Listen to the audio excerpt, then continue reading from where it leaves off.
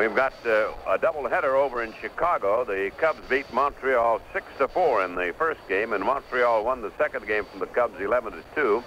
In that first game, Madlock and Monday hit two home runs apiece, and Foote hit one for Montreal.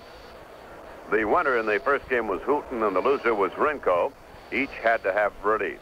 In the second game uh, for Montreal, Davis homered with two on in the third, and Mitterwald hit one for the Cubs in the sixth inning with nobody on. Carrithers, the winning pitcher, relieved by Murray in the sixth inning. Uh, Burris took the loss. Hudson, Todd, and LaRoche uh, relieved him. The other games in the National League are all night, and they start later on. It'll be New York at Philadelphia. Pittsburgh is at St. Louis. Houston at Cincinnati. Atlanta at Los Angeles. And San Francisco at San Diego. The Tigers and the Birds here in Baltimore tonight on a cool, clear evening. That's it for now. Ernie Harwell saying, see you at game time. Tiger Beat with Ernie Harwell has been brought to you by Household Finance, the company that has something no one else has, a bright new world. Look for it at Household Finance. And by Aetna Smelting and Refining Company, the people who want to buy your junk. Radio 76, this is WJR Detroit, America's great radio station, a service of Capital Cities Communications. Bet you didn't know you could do department store shopping anytime. That's right, anytime, day or night. All you need is a Montgomery Ward catalog and your telephone. It's called Ward's Catalog Fingertip Shopping. Now, what could be more convenient? A complete department store right in your own home on a 24-hour basis. No more worries about weather, babysitters, parking. Just select the items you want, phone in your order, and arrange delivery. That's what Ward's catalog fingertip shopping convenience means. If you've already received your Ward's Christmas catalog, be sure to look through it carefully. There are great gift-solving ideas for every need. Not a Ward's catalog shopper? Then stop in at your neighborhood Ward's Catalog store and register for the next available free Ward's Catalog. You deserve the best. Ward's Catalog, over 102 years of experience in satisfying customers.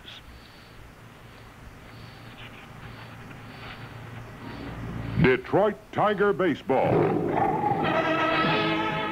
Welcome to Tiger Baseball. Today's game is brought to you by the Stroh Brewery Company, Detroit, Michigan. Stroh's from one beer lover to another. By Marathon Oil Company and its Marathon dealers who won't rest while America needs energy. By the Independent Insurance Agents of Michigan, the local businessman in your town who displays the big I symbol. By the 22 members of the Metro Buick Dealers Association and by Buick Division, nothing beats a Buick. By City National Bank, where $250 in savings gets you absolutely free checking. By B.F. Goodrich and their radial tire specialists. In Dearborn, see Bob Phillips BFG store at 15150 Michigan Avenue, and in Madison Heights, see Rick Wagner BFG 28501 Dequindre. And by Dairy Queen, where lots of good things to eat are waiting for you.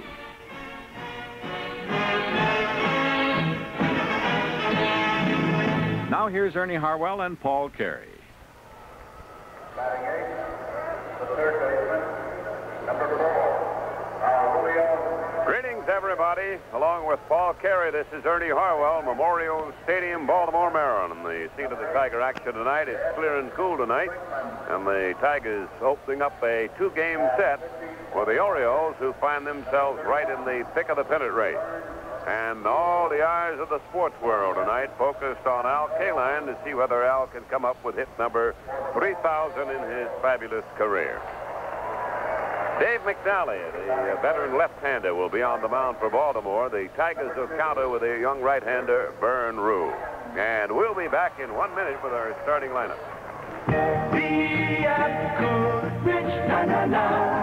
BF Goodrich introduces the Golden Lifesaver, the Fixer, the first and only radial tire with advanced steel-belted radial construction plus puncture protection that really works. It's the first radial tire with a special liner system that actually repairs punctures up to a quarter of an inch in diameter. That's why it's called the Fixer. The Golden Lifesaver is totally unique both inside and out. It's totally distinctive, too, with the new block tread design and attractive double stripes. Naturally, the fixer carries a written 40,000-mile tread wear guarantee. If in normal driving you do not get 40,000 miles of tread wear from the fixer, just take it to your nearby BF Goodrich retailer. While everybody's talking about radial tires, only your nearby BF Goodrich retailer has the fixer, the most unique and most advanced radial tire offered today. In St. Clair Shores, see Wally Berry or Jerry Nowicki at the Banner Tire Company, 23418 Harper. And in Ypsilanti, see Chuck or Tom Silkworth at Silkworth Tire, 6 East Michigan. Well, he's all warmed up and ready to go. Here's Paul Carey. I think you're talking about Dave McNally, aren't you, Ernie?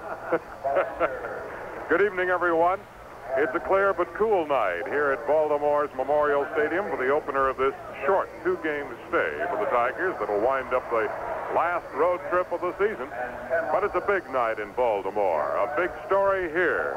In fact, two big stories. The biggest, perhaps, Al Kaline's quest to hit number 3,000. And the other story, Baltimore's pennant push as they enter the ball game just one game back of the Yankees, who at this point, after six innings, are trailing the Boston Red Sox 4 to nothing in the opener of their twilight doubleheader. Well, the umpires are meeting down at home plate right now. Let's check those starting lineups. We've got, uh, again, uh, a couple of pitchers going with varying degrees of experience here tonight. The veteran Dave McNally, the left-hander, going against the Tigers, while pitching for the Tigers will be right-hander Vern Ruhle. For the Tigers against McNally, leading off, playing in center field, will be Ron LeFlore. Batting second at second base, Gary Sutherland. Hitting third, the Tigers' designated hitter, Al Kaline. Batting fourth at second at doing the catching, Bill Freehan. Hitting fifth at first base will be Reggie Sanders.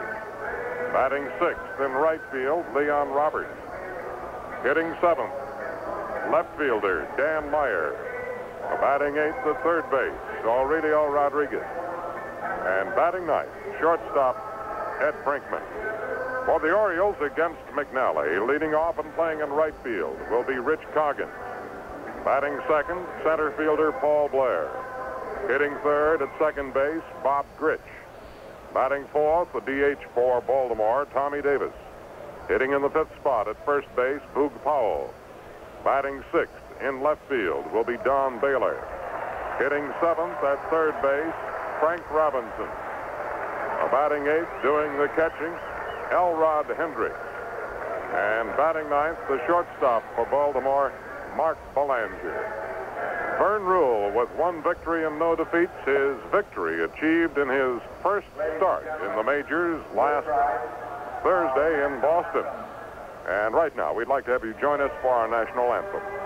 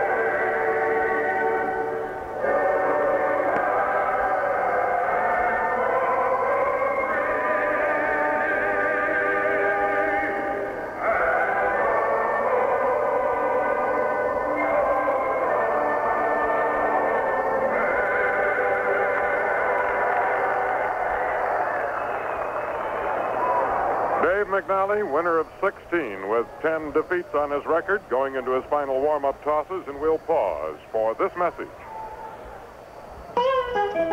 Let me tell you about the kind of place that always makes me happy. Where the sun don't hide, the air is clean, it's easy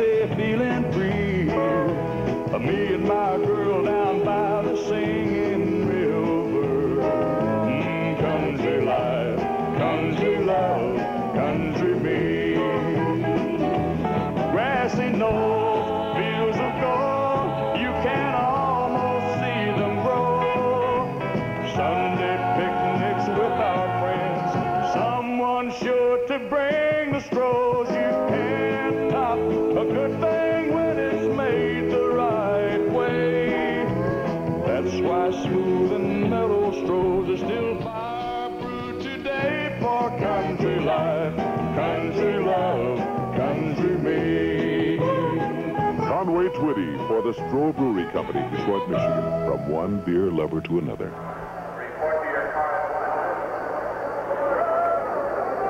Just about ready to go, Dave McNally, who's won four in a row, with 16 victories to his credit against rookie Vern Ruhle, with one victory to his credit in his last outing, his first start as a major leaguer.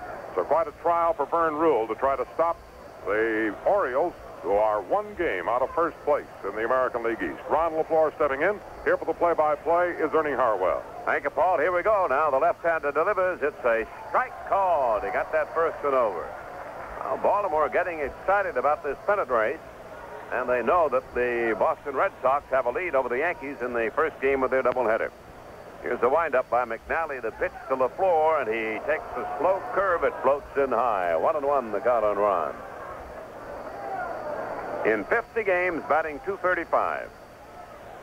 He'll be followed by Sutherland, and then it'll be Kaline's first shot at 3,000. Here's the pitch. He swings a bounding ball the short. Belanger has it. Here's the throw to Boog Powell. He's out. It's the close play. And before Sutherland bats, let's pause briefly for station identification. This is the Detroit Tiger Baseball Network. Marshall Wells checks the Town and Country Report mornings at 5 on Radio 76 WJR Detroit, America's great radio station.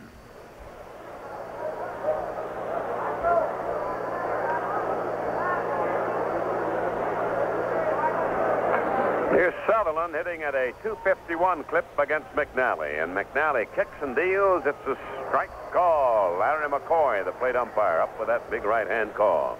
Kaline waits at the on deck circle. No score first inning. We've just started in Baltimore. This will be the first of two games. It's a line drive. It's the second baseman, Grich, for out number two.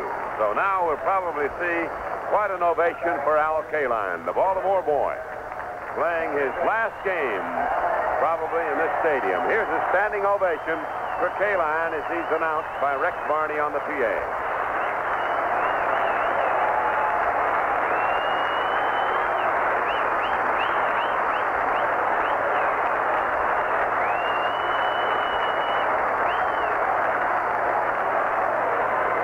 Well, everybody in baseball for that hit number 3,000. Kaline stepping in. Batting average 261. McNally looks him over. Here's the windup by McNally and the pitch. He takes the ball. Oh, fastball. Two out, nobody on first inning. Kaline with 13 home runs, 62 RBIs. The pitch is swung on and missed, and the count is one and one on the Tiger veteran. The outfield is around the left and deep. The infield is back. Base is empty. Two men down first inning. Kaline waits on a 1-1 pitch. He takes the fastball wide to make it a 2-1 count on Al. Bill Freehan is on deck. Robinson uh, deepens now at third base a little bit. Al McNally checks his sign with uh, Ellie Hendricks, his catcher. It's a 2-1 pitch to Kaline coming up from McNally. And here it is. He swings a bounding ball to short. Belanger has it. Throw to first to Powell, and they side out one, two, three in the Detroit first inning. At the end of a half inning, Detroit nothing, Baltimore coming to bat. Once in a generation, there's an entertainment package so bold and exciting it beggars description. Such is WJR's fall program lineup. You'll hear exciting personalities like these.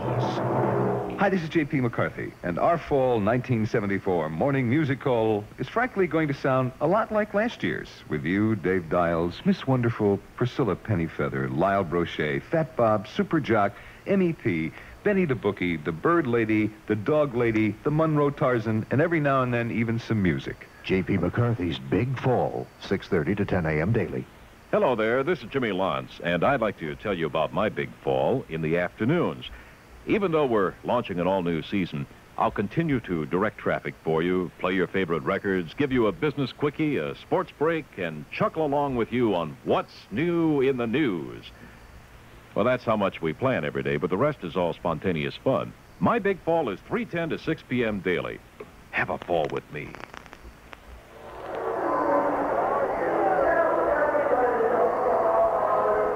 Don't forget, you folks back in Detroit, that uh, Al Kaline will be honored uh, on uh, Sunday if he's attained his goal of 3,000 hits on or before Saturday. The observance uh, for Al will be held on Sunday, this coming Sunday, September the 29th. And if he gets his 3,000 hit on one of the remaining days of the season, the Tigers will salute him on the day following the historic hit. But a lot of big uh, plans and uh, appropriate ceremonies are set for that day on Sunday to honor Al Kaline. There will be a commemorative gift from Tiger owner John Fetzer. And for you fans, there will be a colorful two-foot by three-foot souvenir poster marking uh, Kaline's admission to the 3,000 hit club.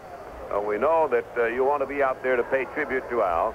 And if he gets the hit on or before Saturday, that uh, big event, that uh, big celebration for Al will be this coming Sunday. So make your plans to be out there with us.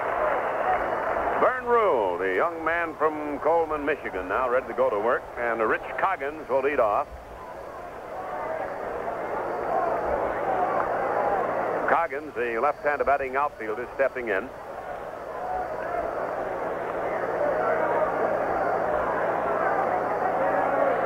And he takes a fastball outside, ball one.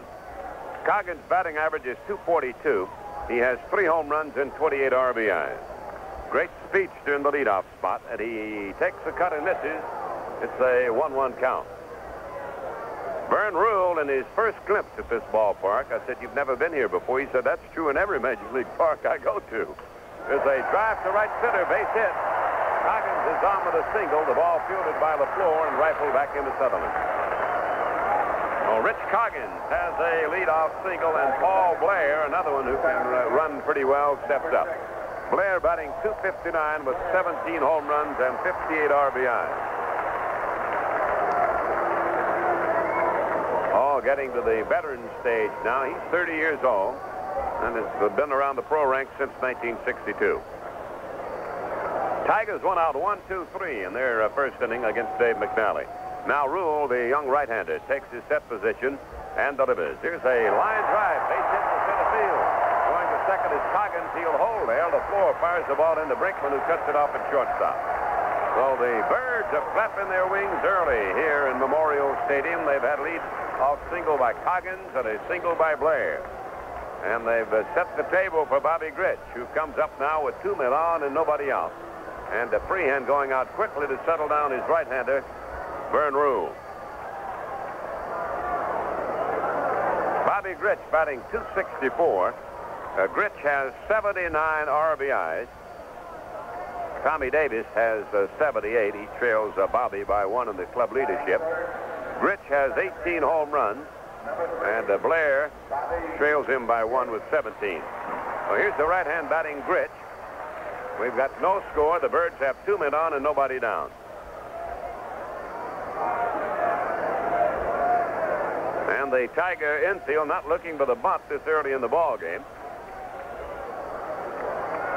Tommy Davis, designated batter, is uh, waiting on deck. Here's a set by Vern Ruhle, and the young right-hander delivers. Here's a ball low. He started the bunt and uh, took it. And it's Rule a ball. Man on second is Coggins. The man on first is Blair. Both are fine runners. Coggins a little faster than Blair because uh, Blair has suffered a broken ankle in his career. Uh, Coggins uh, edging off, so is Blair. Is the set by Ruhle, a rather quick worker. He holds it at the belt. He delivers. Here's a high pop up down the right field line. It may be a fair ball. I think it will be. Nope, it's a foul and picked off by Sanders in foul territory. The runners hold on. The ball started out fair, drifted over back of first base in foul territory about a couple of feet. So that will bring up the always dangerous Tommy Davis. National League batting champion a couple of times when he played with the Dodgers. 11 home runs and 78 RBIs for Tommy. At a batting average of 281.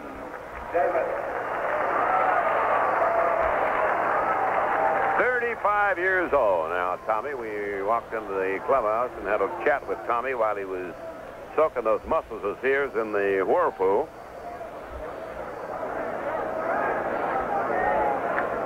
And he says it's exciting to be in the pennant race again.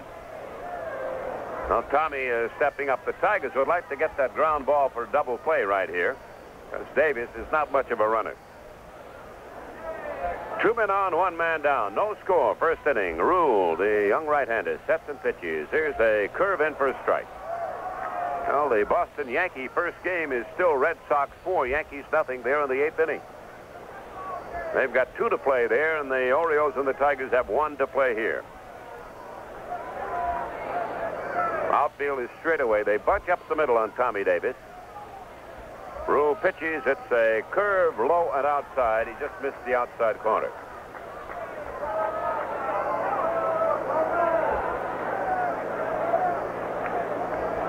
It's cool tonight in Baltimore, but it's uh, clear weather. And we've got a pretty good turnout. They're trying to make the million mark here. They're just below it right now. They'll have to average uh, over 20,000 for their all their remaining games. I think they have five left to make the 1 million mark in paid attendance. Here's the set now, the 1-1 pitch. Curveball fouled away. They had the runners moving, and uh, Davis, who is an excellent man with a hit and run, fouled it back of the dirt. One ball and two strikes. Paul, I don't know whether you heard the radio today, but the uh, radio announcers, disc jockeys, etc., were really beating the drums to get a crowd out here tonight. Well, the papers were full of Al's pursuit of hit number 3,000, tracing his career back to his early days here in Baltimore. The afternoon paper, the uh, News American, had uh, two full pages. The first two sports pages were completely devoted to Kaline. And had a picture of Al in 1951 with his first trophy when he was the most valuable player in the Hearst uh, Sandlot game in New York. Now Davis waiting on a 1-2 pitch from Vern Ruhle with two on and one out, no score. The runner from second to third goes. There's a throw. He is out. And uh, Coggins is out. Blair holds it first. The pitch to Davis is in close, and it is a 2-2 count on him. Well, I imagine Mr. Coggins is going on his own there, or maybe there was a busted signal somewhere, one way or the other. One or the other, yep. Anyway, he's out at third, and he was out by a fairly wide margin. So there are two out and one on, and that eases things a little bit for Ruhle and the Tigers. Tommy Davis with a 2-2 count on him. Ruhle sets, holds it at the belt, and delivers. And there's a foul in the dirt. Back to the screen, and the count stays on Tommy at 2-2. Ralph Houk has certainly uh, not uh, held Vern back from pressure games. He was in there against Boston up in Fenway Park and in here in the opener of this series. Well, that's the way to do. Start them out, and let's see what they can do. Here's a foul fly out of play. It'll be off the facing of the mezzanine and then down below.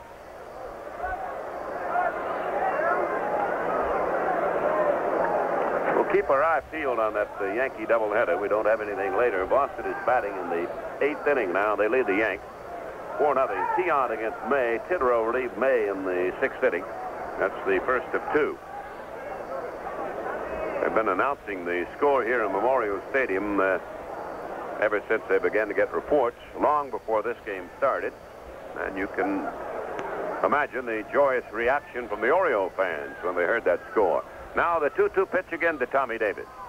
Ruhle delivers. Here's a bounding ball wide of third. Off the glove of Rodriguez. Picked up by Brinkman. Throw to first. It won't be in time. Davis is safe at first. Safe at second is Blair. The ball hit to the left of Rodriguez. He went over, got his glove on it, and we'll wait for the scorer's decision. The scoreboard has flashed nothing so far. Boog Powell will be the batter. That is a single. Record that as a single. I'd have to disagree with the scorer. Looks like a fairly routine play from uh, this booth. Well, here's Boog stepping in, our pregame guest who has uh, perked up his hitting here in the late stages, batting 267, 11 home runs, and 43 RBIs. Outfield is very deep and around the right.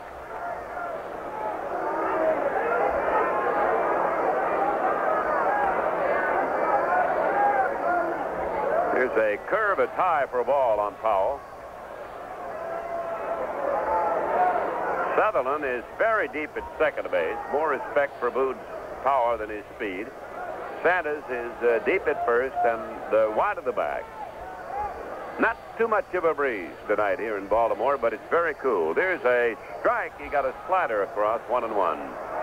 Boston did not score in the eighth inning. The Yankees are batting in the eighth at New York in that first game. Boston leads 4 0 over the Yankees. Blair on second, Tommy Davis at first. Boog Powell waits on a 1-1 pitch from Ruhle. Here it is, bounding ball to first, gloved by Sanders. He makes the play unassisted, and the side retires. Good play by Reggie, and that retires the Baltimore Orioles. No runs on three hits. Now, there were no errors, and two runners left. At the end of one, Baltimore nothing, Detroit nothing. Your marathon dealer does more than just sell you gas. He's your good neighbor for service to your car and driving needs. He's also a good neighbor to the community he serves. Here are some community service tips that your marathon dealer would like you to know about. The Village of Clinton's Fall Festival begins Friday, September 27th in an atmosphere of old-time craftsmen with old-fashioned ice cream parlors, a blacksmith, road rallies, and plenty of artwork. The Ladies Auxiliary of the VFW Post 345 will be having a Tupperware party on Wednesday, September 25th at the Don Sherman Post at 25245 West 7 Mile in Redford Township. And if you're a high school dropout, the Detroit Urban League's John C. Dancy Street Academy can help you. Call 869-7771 for more information. These community service reminders are a service from your neighborhood marathon dealer. And Marathon says, here's to our dealers. Bless them all.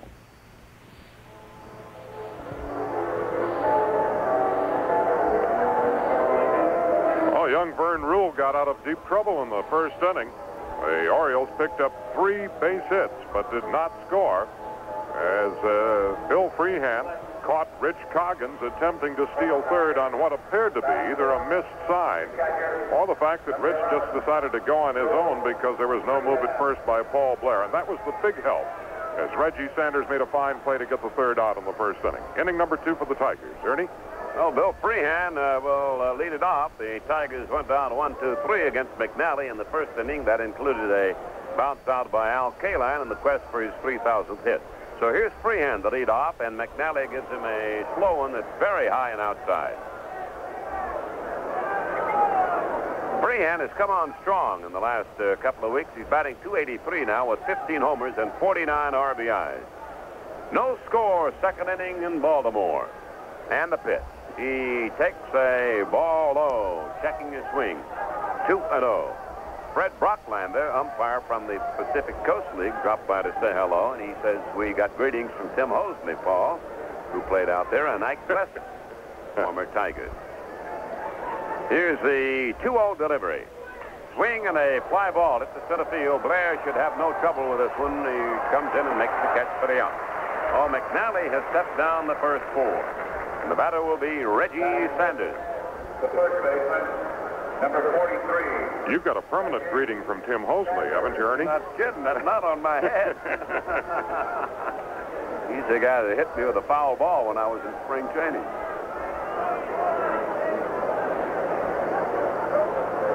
Sanders batting 269. And McNally delivers. Here's a bounding ball foul down past third base. Hit very sharply, but just foul. That was hit so hard it might even have been past Brooks Robinson. Oh, Reg. He hit that ball like he was hitting them in Milwaukee the other day with those four RBIs on Sunday. Now McNally ready to go to work on him again. No score, second inning. Tigers at bat with one out. It's a curve. It stays outside. McNally has a good assortment of pitches. And uh, Jim Russo, the uh, Baltimore scout, used to say when McNally first came around, he had the best curveball he ever saw. And he's still got a very fine one and a good mixture. Here's the 1-1 pitch. It's a fastball this time. It sneaks over, one and two. That's the count on Sanders. On their last trip, the Orioles won five out of six. They had swept the uh, New York series, and then they won two out of three in Boston. Here's the windup and the pitch. It's a ball outside, 2-2. Earl Weaver was uh, talking with uh, Paul and me before the game, and he said he thought what really turned it around was getting Palmer back in the pitching rotation.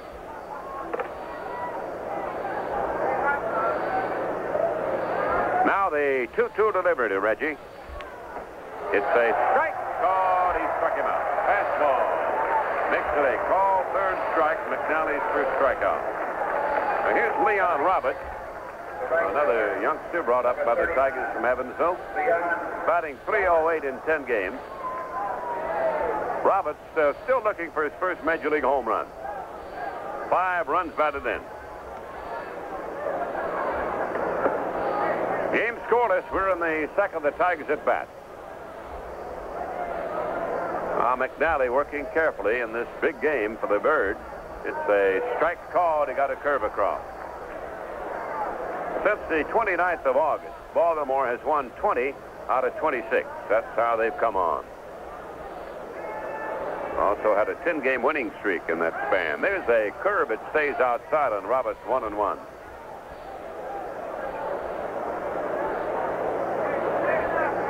Tigers have eight games to play after this game is over.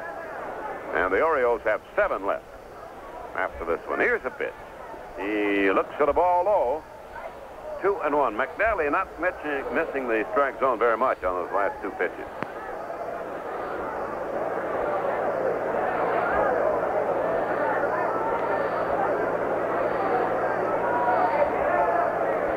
Here's the windup now by Dave and the 2-1 delivery. It's a ball low, the fastball, three and one. McNally was saying that his control was great against the Yankees the last time out. He beat them. Beat them 7 nothing. And he was saying that that was the best control he's had all season. Here's the 3-1 pitch. Swing, fly ball right to the field. Blair and Coggins converging on it. Blair is there. He's deep. Makes the catch. And the Tigers, for the second straight inning, go down one, two, three. At the end of one and a half, Detroit nothing, Baltimore nothing. Hello, Martha Jean, the Queen. Hi there, City National, the bank. What are you doing here? Well, gee, Martha Jean, I like to drop in on the Queen every now and then because you do all your banking with me and. Gosh, Rooney, you say good stuff about me all the time. I sure do. Say, do you know about my new free checking? Oh, yeah. It's the best free checking offer in Detroit. right. Tell the folks about it, City National. Well, if they'll open a savings account with me for just $250, I'll give them free checking, the kind where they can write all the checks they want absolutely free. You know, I've been telling my friends how they can lose their hard-earned money by paying bills with checks and money orders that cost them money to write. That's right. They'll never get rich throwing their money away. You know, it's just wonderful, City National, and there's no service charge with you every month either. Jinkies, no. you know, the money they put in a savings account will earn interest, too. Highest the law allows. Well, I sure am glad you took the time to remind my good friends about your new free checking, City National. Tell your friends to drop by, Martha Jean. Golly, Ned, anybody who's a friend of the Queen's is a friend of mine. I bet you. Member FDIC. Well, here come the Orioles to bat now. We've got a scoreless deadlock in the last half of the second. Young uh, Vern Ruhle pitching against the team right in the pennant race. We'd like to salute uh, Mr. Claude Edwards of Newberry tonight on his birthday. Happy birthday to him, a longtime Tiger fan. And we want to say thanks for his uh, loyalty over the years. Ruhle is not quite ready to pitch. And uh, Baylor is about ready to step in the batter's box now. So we'll get this thing underway in a minute. No score, second inning. Birds at bat. Baylor batting 266, big, strong right-hand batter, takes a strike up in the letter. Had a visit from uh, John Tort of uh, Detroit. He's working here with Bethlehem Steel. He says he's still a Tiger rooter. There's a fly ball to right. It may slice foul. It's deep. It is a foul ball in the seat. And a gentleman from Dundalk caught it on the fly.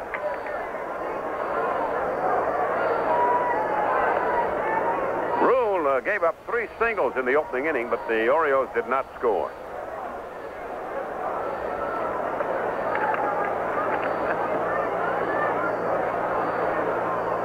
Here's a fly looping into short right center. LeFlore drifts over. He's there, makes the catch. Running to the right field side, and uh, Baylor is out on the fly to center. Here's Brooks Robinson coming to bat.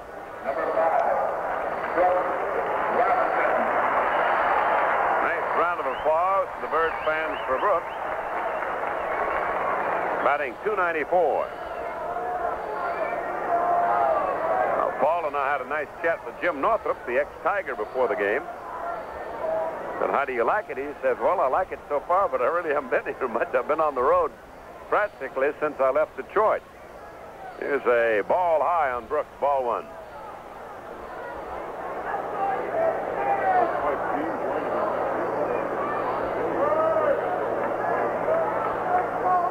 Looking good, and uh, he's uh, happy to be right in the thick of things. Here's a cut and a miss by Brooks. The ball popped out of the of Freehan. One and one. Brooks has 54 runs batted in and seven home runs.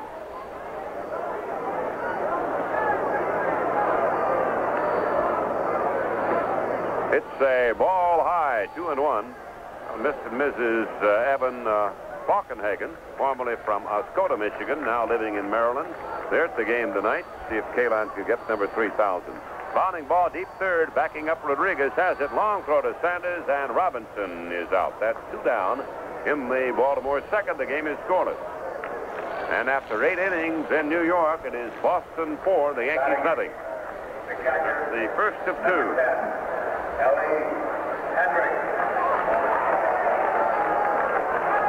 that uh, game that's down in Texas, a doubleheader that's been transferred from Chicago down there, been delayed because of rain. So they're having all kind of problems with that game. Now here's the left-handed batting catcher, Ellie Hendrick. Outfielder right on Ellie, and he takes a slow curve in close from Vern Ruhle, ball one. Hendricks batting 216 for the year. There's a fastball in tight again. Apparently the Tiger system is to work him inside. No runs, three hits for the Birds. No runs, no hits for the Tigers. See, the team's made a bobble. There's a curve that hangs high, 3 and 0. Kind of curve you don't want to throw. Up in the eyes, and uh, it was a little bit too high for Hendricks to go for. Outfield deep to right. Rodriguez is uh, very wide at third and even with the bag. Now Ruhle uh, looks him over, rocks into action. Here's a pitch. It's a strike on the inside corner between the belt and the knees.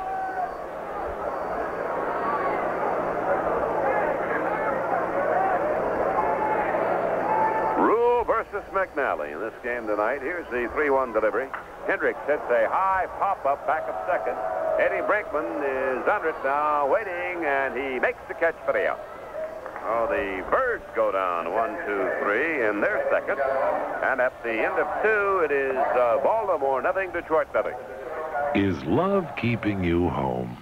Do you think love cannot be found outside your own backyard? Well, fellow beer lovers, our kind of love is all around. Stroh's beer is just too good to keep it all in Detroit. You can pack your family up and take them on a swell vacation to Kentucky and still get all the Stroh's beer you want. You can finally see Tennessee without losing sight of Stroh's. The fact of the matter is, you can go north, east, west, and south through 10 states with a fresh Stroh's beer at your side. Look, friends, We appreciate your loyalty, but this is a big country, and we'd like you to see as much of it as you want. So get out there and see how the other beer lovers live. With Stroh's, you've got a lot in common. From one beer lover to another, Stroh's beer. From one beer lover to another, Stroh's. The Stroh Brewery Company, Detroit, Michigan. Let's for station identification. This is the Detroit Tiger Baseball Network. Carl Haas is your expert guide in the world of music, weekdays at 210 on Radio 76 WJR Detroit, America's great radio station.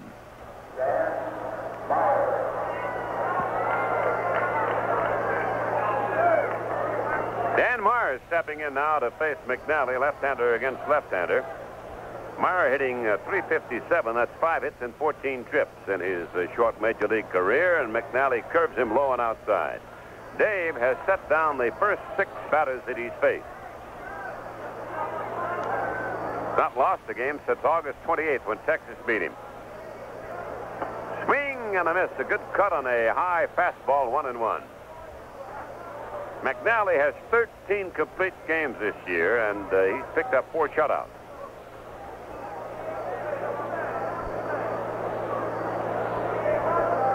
He's one and one against the Tigers. Here's a Tapper hit slowly down the first base side and roll foul.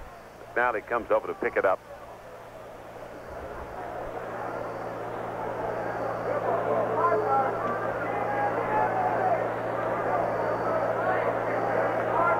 This left-hander, McNally, is the number one uh, winner in the history of the Baltimore Ball Club. Started with them 12 years ago. He's won 181 games for them. And also 33 shutouts over that uh, career. Now the left-hander ready to go, kicks and delivers, and there's a fly ball at the right field. Coggins is going back, reaches up, and makes the catch for the out. Ball hit pretty well by Meyer, but uh, Coggins took care of him. And the batter now will be Rodriguez. And McNally has set down seven straight.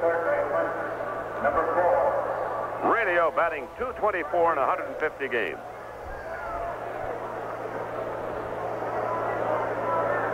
He's played the most games on the Tiger team. And I think you could probably guess in second. He's on deck right now, Eddie Brinkman. It's a check swing, rule the ball by umpire McCoy, and uh, he's checked out by Joe Brinkman, the umpire at first base, who agrees with him. The Orioles don't agree with him, but Joe Brinkman agrees with him. No score. We're in the third inning. The Tigers have batted with one out and nobody on. It's a strike. He got a breaking pitch over, one and one the count.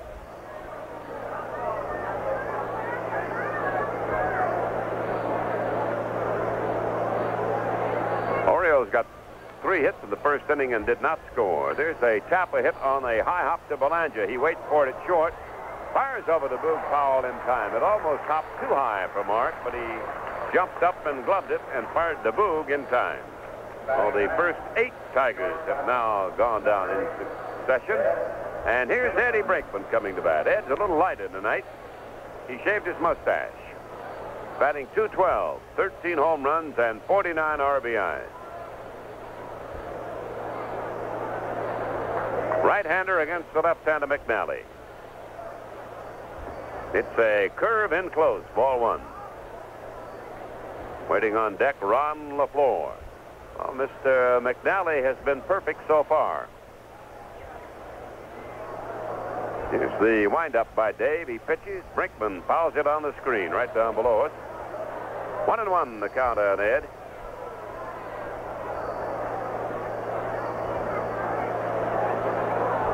The Tigers have had uh, tough sledding against Baltimore this year. They've won four and lost nine against them.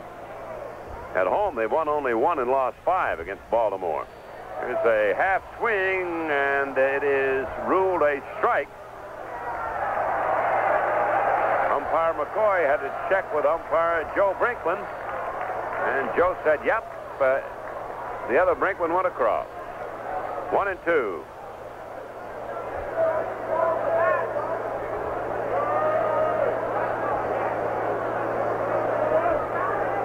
Eddie Brinkman shaking his head. Here's the one-two pitch to Ed with two out and nobody on the game scoreless in the third. McNally delivers. There's a high foul upstairs.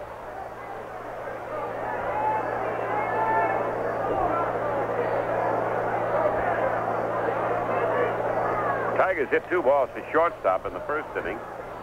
Everything else had been hit in the air except uh, Sanders. Uh, he struck out on the call third strike. Waiting. Here it comes. Tap ball in the dirt over toward the seat.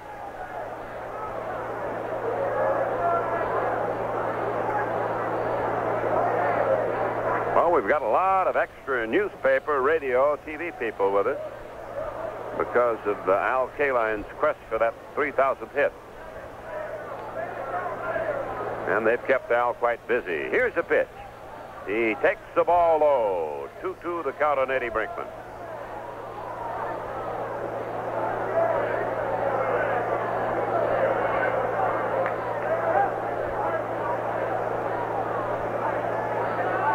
Here's the windup by McNally in the 2-2 delivery. There's a curve. It missed the inside corner. 3 and 2 the count on Ed.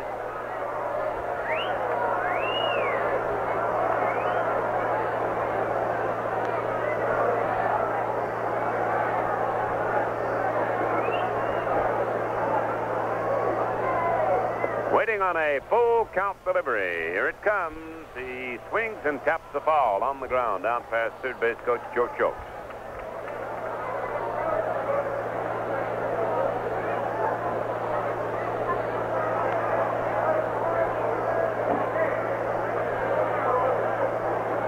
Wade steps back, and he doesn't choke that bat very much these days. Right down at the end of it. Here's the full count delivery. It's a ball. He walked him. There is the first Tiger runner. Brinkman gets a two-out walk in the third inning. Center Ron LeFlore. Oh, now McNally has fanned one and walked one. The Tigers do not have a hit yet. Here's Ron LeFlore, who bounced to uh, shortstop his first trip. Tigers and the Birds meet again here tomorrow night. We'll be on there at 7.15. That'll be the final road game of the year for the Tigers. And they'll be back home for seven at home to close it out. Throw to first, Brinkman back easily.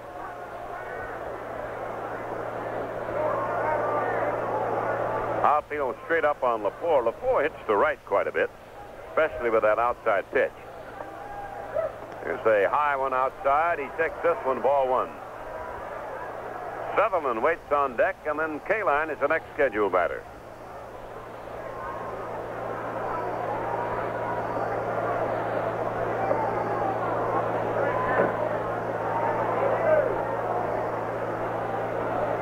Throw to first, and Brinkman is safe. It was close. Eddie really didn't have much of a lead. He just didn't get back very quickly.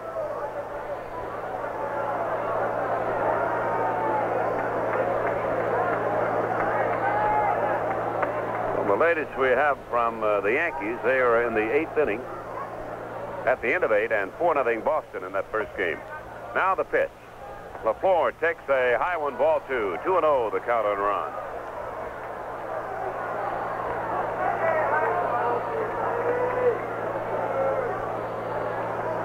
Big game tonight in the National League.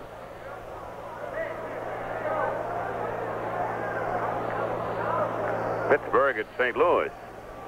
You see set now by McNally in the 2-0 delivery. It's a wide one, very wide of all three. Hendricks wants to go out and uh, settle down McNally.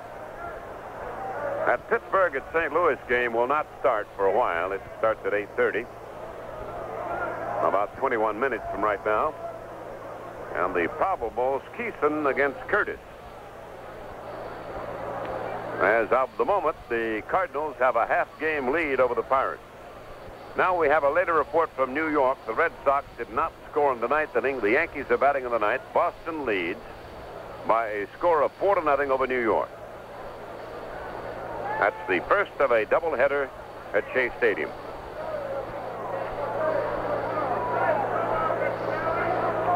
Now it's a 3-0 pitch coming up to uh, Ron LeFlore. And he takes a strike. Fastball through the letters. And Chicago at Texas, the transferred game and the regular game postponed because of rain. That'll jam up the schedule. Here's the 3-1 delivery. Ron swings and fouls it away. Full count on the floor. That pitch a little bit toward the outside, but I think it was in the strike zone. Anyway, you can't take them too close.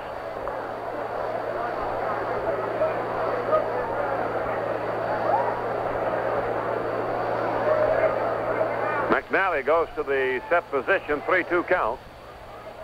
And the pitch. Swung on this, a fly ball right center field. Blair racing over. He won't get this one. It bounced past him. Coggins has it on a hop. Rounding third is Brinkman. He's headed home. Here's a relay to the plate. Not in time. The Tigers score. Brinkman coming home on the double by LeFlore, and it is one to nothing Detroit in the third inning. A right center field double by Ron LeFlore that skipped past Blair was fielded by Coggins. Good thing he was able to cut it off because Ron could just kept on running. So that'll bring up Sutherland now with a run in. Tigers lead it one to nothing, two out. That is the first hit of the game for Detroit.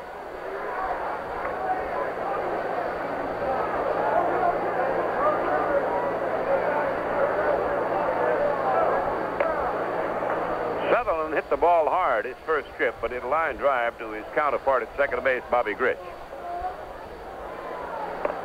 One nothing, Tigers ahead. Swing, there's a line shot, hit the Grich again for the second time in the game and the third out of the inning. One run on one hit, no errors, and one man left, and we go to the last half, the third. Detroit one, the Baltimore nothing. Let's see what's happening at your Metro Buick dealer. Hi there. Anything on sale today? Well, you might say all our Opel models are very reasonably priced for year-end clearance. Hey, well, this Opel Manta Luxus is really loaded. Or you might say it's well equipped. How much extra will it cost me for these corduroy reclining bucket seats? They're standard. And how about the rack and pinion steering and that clock? Standard. And how about the vinyl covered steering wheel? And hey, that's a four speed manual transmission. They're all standard on the Opel Manta Luxus, along with several other features such as front disc brakes and front and rear stabilizer bars. Well, you might say that the Opel sets the standard for standard equipment. If you're in the market for a fully equipped compact car, check out the Opels at your Metro Buick dealer. Like the man said, right now they're reasonably priced for year-end clearance. Nothing beats a Buick. See Bill Gregg, Bill Gregg Buick in Royal Oak, Chuck Grissom, P.L. Grissom and Son Buick in Dearborn, Kelly Minnick, Kelly Minnick Incorporated in Utica, and Warren Mitchell, Mitchell Buick in Mount Clemens.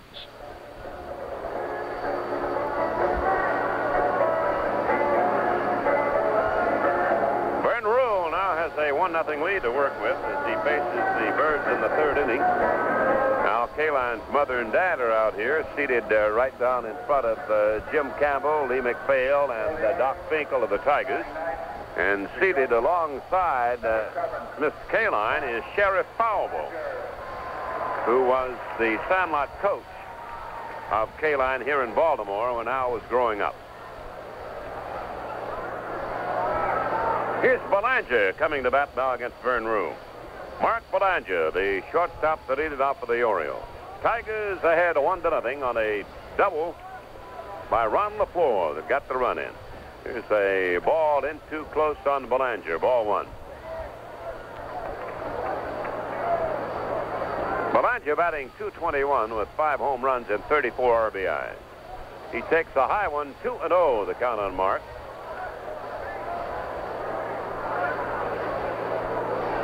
Clear skies, cool weather in uh, Crabtown tonight. There's a strike, a fastball served over by Ruhle. Rodriguez is even with the bag and uh, fairly close to the line there, third base. Everybody else is back. Here's the 2-1 pitch, swing and a foul upstairs, out of play. 2-2 on Belanger. Coggins, Blair, and Davis all picked up singles in the opening inning, but Coggins was out on a steal attempt, and that cut down the chance of any rally by the Birds, and they did not score in that first inning. Swing, bounding ball to Brinkman's left. He has it. Here's the throw to Sanders. Got him by four steps. One up and one down.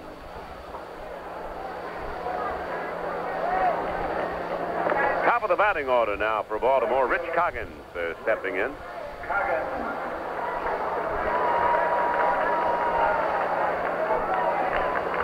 Coggins, who hit the 319 uh, last year, started very, very slowly and never really came out of it, but he's uh, come on toward the end of the season here pretty well. Here's the pitch. It's a ball outside, ball one.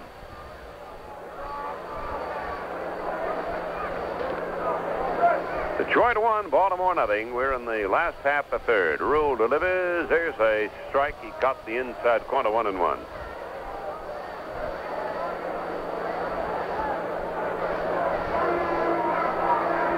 Coggins stands a little uh, forward in the batter's box and fairly near the plate. Left hand about it, better than ease. He chokes her stick a lot and takes a curve that bends in too close on him, two and one. Tigers lead it one to nothing, third inning, birds at bat. And leading off in the fourth will be Al Kaline. Here's the pitch. Swing and a bounding ball to Sutherland. Nice easy hop. Throw to first. He got him. And there are two up and two down in the Baltimore third. Well, the batter will be Paul Blair stepping in next. Paul had a single his only trip.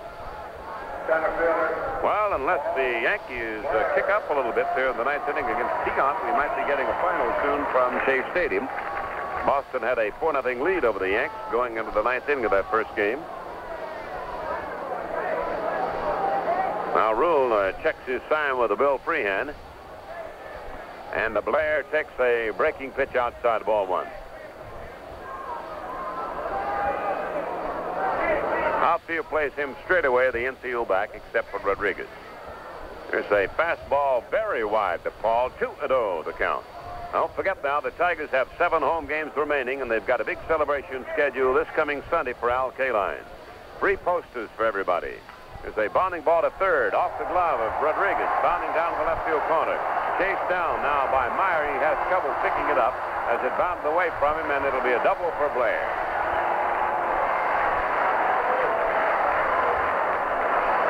That's two for two for Blair, and now the always dangerous Bobby Grich ready to step up.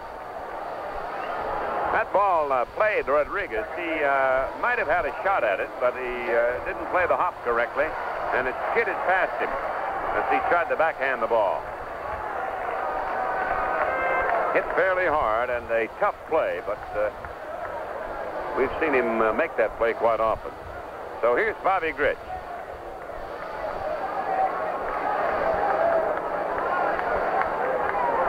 Blair fair-sized lead at second base, and uh, Ruhle working with a one-nothing lead now. Sets and holds it. Pitches. Here's a ball low. Low and away. Ball one. Bill Freehan doing the catching tonight. In the outfield, the Tigers have Meyer in left, floor, floor instead of Robertson right. And the infielders Rodriguez at third, Brinkman at short, Sutherland at second, and Sanders at first. Vern Ruhle on the mound. And the pitch is wide, a curve, 2 0. Ruhle has a changeup that he'll use once in a while. He's not used it so far tonight. This is the first of a two-game series. And tomorrow night, the Grimsley against Lolich. Couple of left-handers.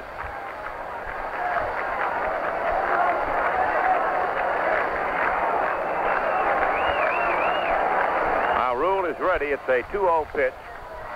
And Grich hits a slow roller. Wide of the bag at first. Here comes Sutherland over. Grabs it, throw to Sanders. He got him on a good play by Gary Sutherland, who had pulled over towards second and had to come a long way to get that ball to his left. So it's no run on a one hit, no errors, and a one man left. And at the end of three, it's the Detroit Tigers one, the Baltimore Orioles nothing. Maybe you've heard that beginning July 1, government regulations require most service stations to sell unleaded gasoline, since many 1975 cars will have an anti-pollution muffler that can be harmed by leaded gas. Since all this is new to most people, Marathon wants you to know what they've done so you don't have to worry and wonder what the whole thing's about. First, Marathon has planned for lead-free gasoline by changing certain refining processes and building new storage facilities. They've also installed many extra tanks at service stations with special smaller nozzles on every pump with Marathon lead-free fuel. Marathon also thought it was important that their dealers really understand this new product. So they brought dealers in for special training programs on new Marathon lead-free. Here's dealer Bob Shook from Mattoon, Illinois. One thing you're going to like is most marathon dealers won't have to drop one grade of gas. We'll have three grades now, premium, regular, and lead-free. If you've got any questions, come on in. We'll be glad to answer them, even if you don't need gas.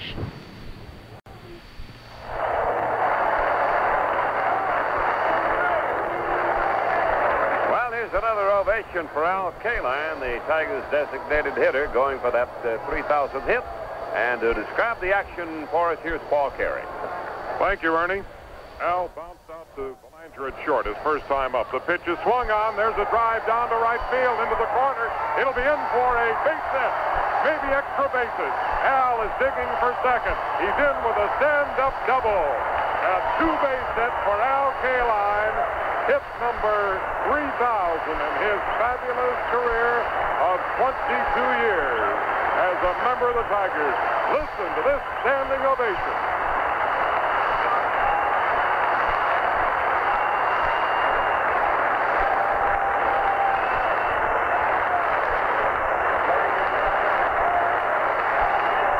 The crowd still standing, cheering Al Kaline, who now leads second base.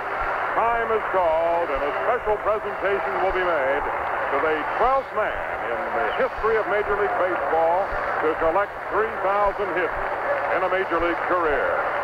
He is now being congratulated by the American League President Lee MacPhail, by the Executive Vice President and General Manager of the Detroit Tigers, Jim Campbell, and is surrounded by his parents.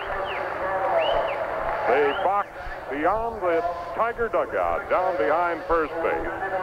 Dick Tracewski, coach of the Tigers at first base, immediately retrieved the baseball and the bat that Al had used, and it will be presented to the Hall of Fame at Cooperstown, New York. The bat and the ball on which Al Kaline collected Major League hit number 3,000. Well, Ernie, it's quite a moment here at Memorial Stadium in Baltimore. Kaline didn't keep him waiting very long tonight. He sure didn't. He hit that ball well. It was a slicing drive down to the right field corner. Now he went over and gave his mother and, uh, a kiss, his dad a handshake, getting congratulations from everybody, and now he's ready to resume action in that fabulous 22-year career of his. The handshake from Boog Powell as Al goes out to second base, and he has made it hit number 3,000 in his career. At the moment, Al Kaline is tied with Clemente for the one-two count now on Leon Roberts. McNally works to the plate. Strike three call. Roberts looks to the call third strike, and that's all for Detroit in the fourth inning. They get the lead off double by Al Kaline, and that's it. No runs, one hit, no errors. One man left after three and a half. It's still Detroit one, Baltimore nothing. Oh, it's a very, very extraordinary, scrumptious day. It's incredibly, edibly tantalizing. I mean, it's a perfect day. So let's all go hand in hand to the Dairy Queen in the land. It's hard to beat DQ Brazier food when you're really hungry. How about a big brazier? Charbroiled over an open flame. Or a super brazier chili dog almost a foot long. And don't forget a heaping order of french fries or onion rings. Everything at the Dairy Queen Brazier store is scrumptious.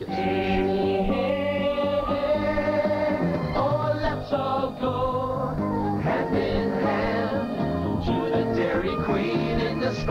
scrumptious land. S-C-R-U-M-B,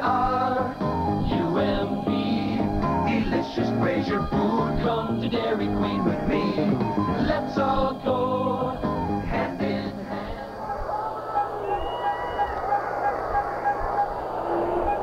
before the Orioles bat against Vern Ruhle in the fourth, we'll pause for station identification. This is the Detroit Tiger Baseball Network. Mark Avery invites you to his open house weekdays from 10:10 to noon on Radio 76 WJR Detroit, America's great radio station.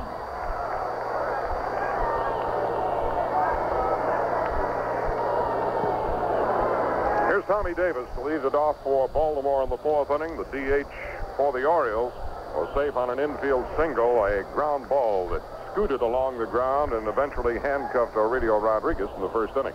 He fouls one behind the plate back into the off the press deck.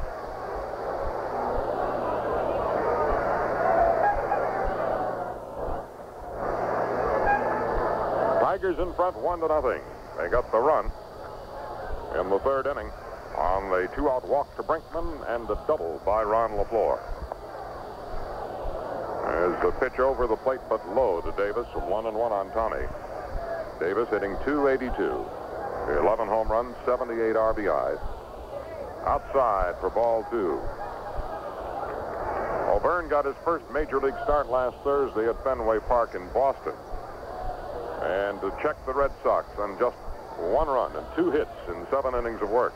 Outside for ball three on Davis. John Hiller came on to mop up the last two innings of that contest, won by the Tigers three to one. The 3-1 pitch swung on a ground ball towards Sutherland. He's got the big hop over to Sanders and easy out.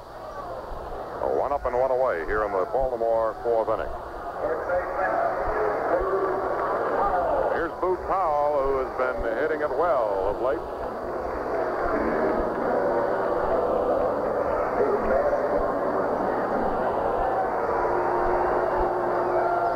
Got a little recording up here that says Big Bad Boog when he comes to the plate. 11 home runs, 43 RBIs for Boog.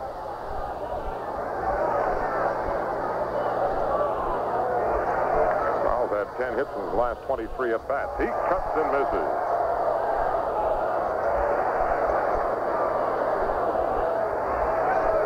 He was going for Silver Spring on that one. Powell grounded out to first his first time up. Sanders playing him deep at first where he was the first time and uh, played a, made a fine play. There's a pitch low and outside. One and one now on Powell. Sutherland is a good two steps on the outfield grass, halfway between first and second.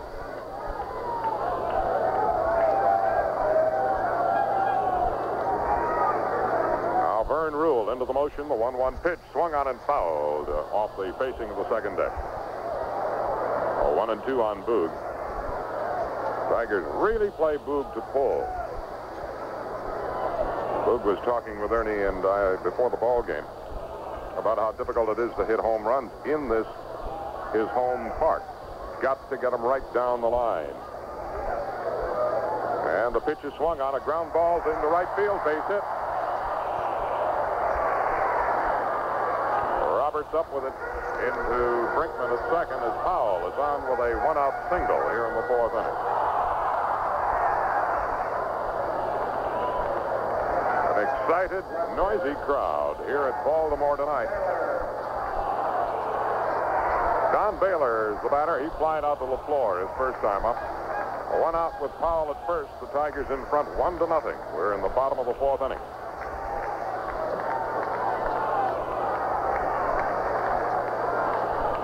The set by Ruhle. He checks the runner at first. The pitch to the plate. Swung on a one hopper to Rodriguez. He goes to Sutherland for one. The relay to Sanders. Double play for the Tigers. And just like that, Baltimore is out of the fourth inning. In the fourth, no runs. One hit, no errors. Nobody left on base after four innings. Detroit won. Baltimore nothing. If you're a real beer lover, to us you're somebody special. You're the kind of person who enjoys beer, likes the taste of it, and prefers beer to anything else when you've got a real thirst. And you've probably tried a lot of beers before settling on the one that suits your special kind of taste. Well, the people at the family-run Stroh Brewery understand you. You're our kind of person. And we've been making your kind of beer for more than 120 years, making it the way that mellows and smooths the taste. So every Stroh's is easy glass after glass. It's a tradition the Stroh family has carried on since 1850. From one beer lover to another, the Stroh Brewery Company, Detroit, Michigan.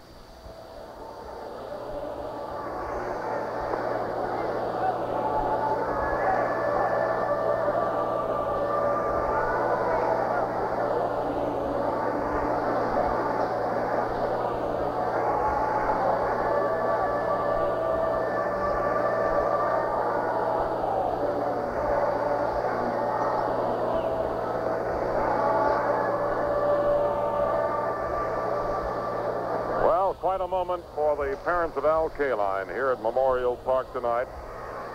Mr. and Mrs. Kaline, Nick and Naomi Kaline in attendance. Very proud of their son. He was quoted earlier today, Nick was, saying that it means almost as much to me as it does to him, referring to Al. He said, I'm just his proud father. Here's Dan Meyer to lead it off for the Tigers in the fifth inning. The Tigers in front one to nothing. Dave McNally against the left-hand batting Meyer, and it's high and inside for ball one. McNally has struck out three, walked one. The Ruhle for the Tigers has no walks, no strikeouts so far, but he's checked the Orioles on five hits without giving up a run. Meyer, Rodriguez, and Brinkman here in the fifth to face McNally. There's a fly ball lifted to center field. Blair should have no problem with it, waiting for it to come down. Paul puts it away. Out number one in the Tiger fifth inning. The batter will now be Aurelio Rodriguez. Aurelio hit one to Belanger on the ground his first time up.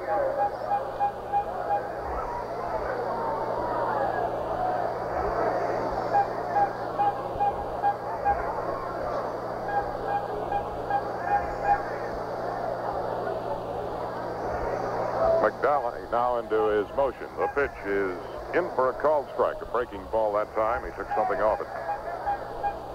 So Al Kaline is tied with Roberto Clemente now as the number 11 men, on the all-time hit list. Ground ball right back to McNally. Easy play for Dave. Over to Boog in plenty of time. Rodriguez is out, two out in the Tiger fifth inning, and it'll bring up Ed Brinkman.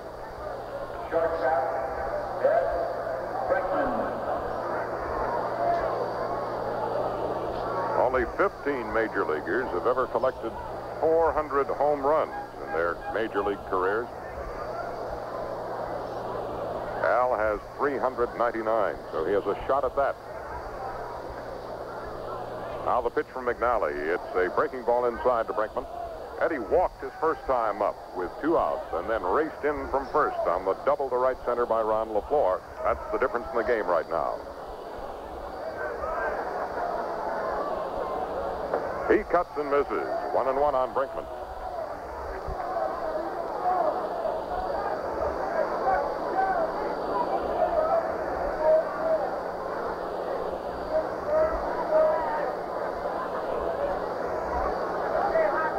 Strike called on Eddie. One and two on Brinkman with two outs, nobody on here in the top of the fifth inning.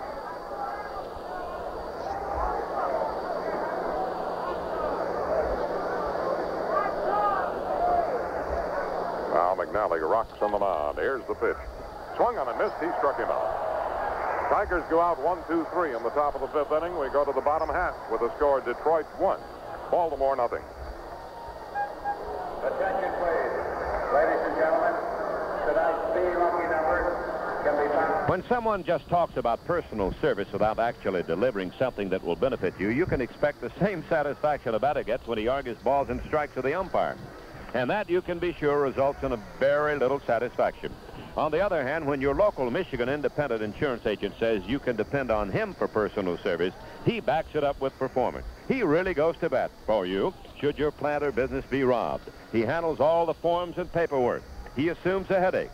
And he makes sure you have the right kind of liability, fire, workman's compensation, and health coverage. And he selects insurance for you and leaves you time to devote to other important business matters. That's just a sample of what personal service means when your business insurance coverage is handled by Michigan Independent Insurance Agent who displays the big I symbol. The mark of an agent who delivers personalized satisfaction with the protection you need for your car, home, or business. B, P, eight, seven, seven. Just a reminder, the Tigers will have a special day for Al Kaline now on Sunday, September 29th. There will be appropriate ceremonies attended to his having achieved 3,000 hits and a commemorative gift from Tiger owner John E. Fetzer for the fans attending the ball game against the Red Sox. And next Sunday, there will be a colorful two-foot by three-foot souvenir poster marking Kaline's admission to the 3,000 hit club. Brooks Robinson, leading off the fifth inning for Baltimore, takes a called strike in from Vern Ruhle. The Orioles collected three hits in the first inning, could not score. Outside for ball one. Ruhle set them down in order in the second inning. They got a double from Paul Blair in the third and a single by Boog Powell in the fourth. But a double play took him off the bases. Swing and a miss by Robinson. One and two on Brooks. Brooks is hitting 294.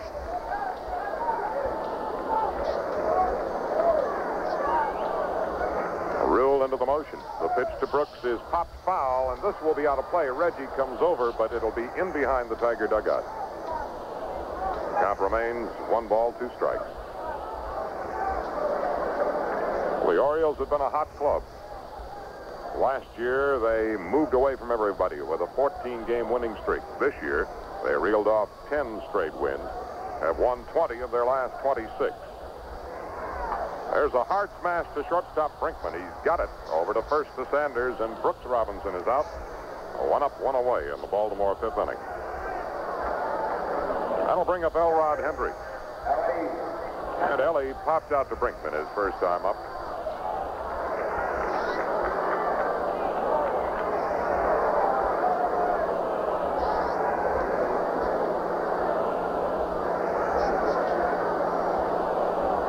The Orioles have taken 9 out of 13 this year from the Tigers.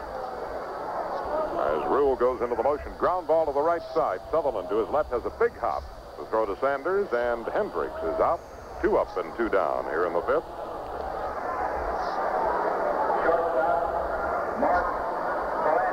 Again this evening, as he did with the Red Sox for the most part, Ruhle has had the batters pounding the ball into the ground, keeping that ball low. Here's Mark Belanger, who grounded out to Brinkman his first time up.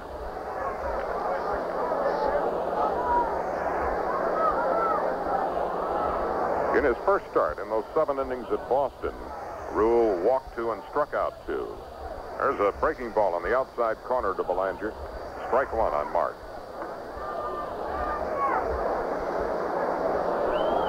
Ruhle winds. The pitch taken outside. One and one. Belanger is hitting 220. He has five home runs, 34 RBIs. Ball two outside and low. Tomorrow, Mickey Lolich goes for the Tigers against Ross Grimsley of the Orioles. What an addition he was this year.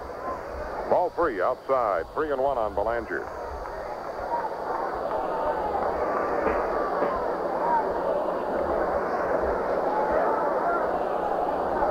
Now Ruhle ready. The 3-1 pitch swung on a bouncer foul over the hands of Billy Hunter, coaching at third. Full count now on Belanger with two out, nobody on. The Tigers in front one to nothing here in the last of the fifth inning. Brinkman walked with two out in the third and came home on LeFlore's double. There's a ground ball to the left side, past Rodriguez into left field. That was in the hole as both Rodriguez and Brinkman stretched out. Neither could come up with it. A two-out single by Belanger here in the fifth inning. Hit number six for the Birds. And the batter will be Rich Coggins, the top of the batting order now. One for two tonight for Rich.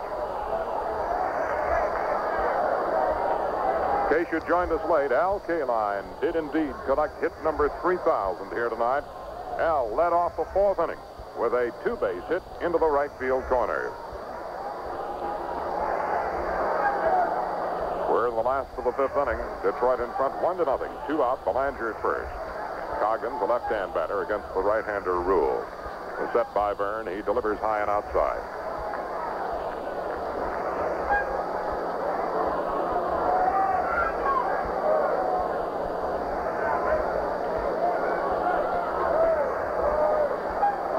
Bends in. He's got the sign from Freehan.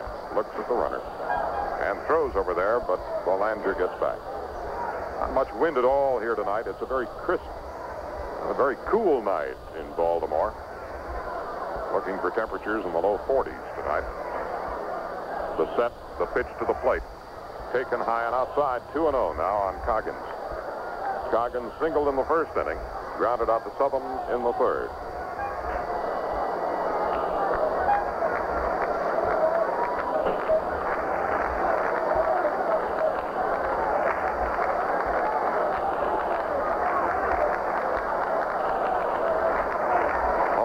waiting on deck. 2 0 count on Coggins. The pitch to the plate swung on. There's a looping drive into center field, a base hit. Belanger's around second. He puts the brakes on, but LeFlore dropped the ball, picked it up, and Belanger had already committed himself They're going back to second base. The crowd doesn't like it. Belanger made the turn and then put the brakes on, but he did not see LeFlore drop the ball. He overran it a little bit in center field. Belanger returning to second base. By that time, it was too late to retrace his steps and head for third. So men are at first and second now with two out in the fifth inning, and Paul Blair will be the batter. Paul is two for two against Ruhle. A couple of two-out singles here in the fifth inning, posing a threat for Baltimore. They've collected seven all told.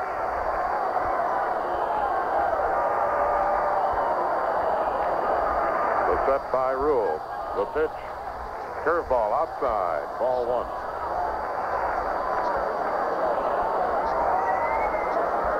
Luke Walker and Dave Lemanczyk are loosening up on the Tiger bullpen.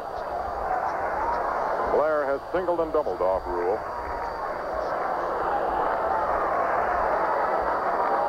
Both Coggins and Blair have each collected uh, two hits. The other hits by Davis, Powell, and Belanger. Two on, two out. Here in the bottom of the fifth inning, Detroit in front, one to nothing. Here's the set by Ruhle. He looks back at second. Now comes to the plate. Swung on and fouled. Back up this way. Well, the Red Sox beat the Yankees 4 to nothing in the opener of their doubleheader. Their lead, that is the Yankees' lead over Baltimore, cut to just a half game, pending the outcome of this game and the second game at Shea Stadium.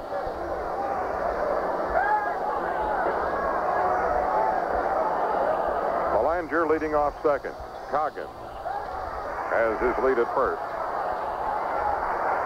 The 1-1 pitch to Blair. Swung on a fly ball to center field. Back goes LeFlore. He reaches up and drops the ball. And they eluded it. Here comes one run in. Here comes another run in. The play, the throw will go to third. Stopping at second is Blair.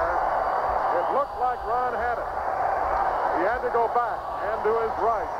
And the ball seemed to sink on him. He reached down and couldn't come up with it. It got behind him. Two runs in. Baltimore leads the Tigers two to one. It will not be a double for Blair. An error has been charged on the Tiger center fielder Ron LeFlore. A two-base error and a two-run error as both Belanger and Coggins running on the hit by Blair came all the way in. A two-base error by Ron LeFlore, allowing Baltimore to take a two-to-one lead here in the fifth inning. Bill Freehan out of the mound to talk to Ruhle.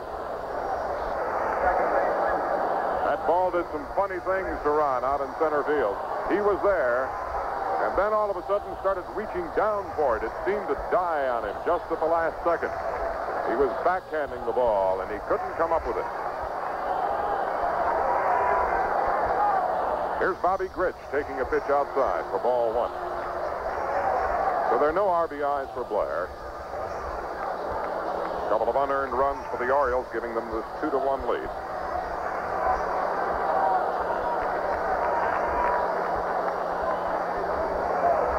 Strike called on Grich, one and one.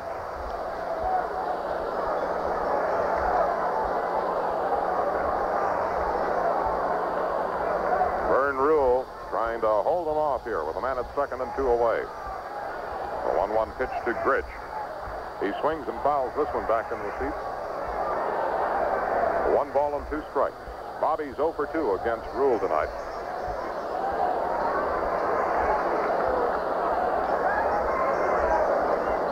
Walker and Lemanczyk still throwing in the Tiger bullpen.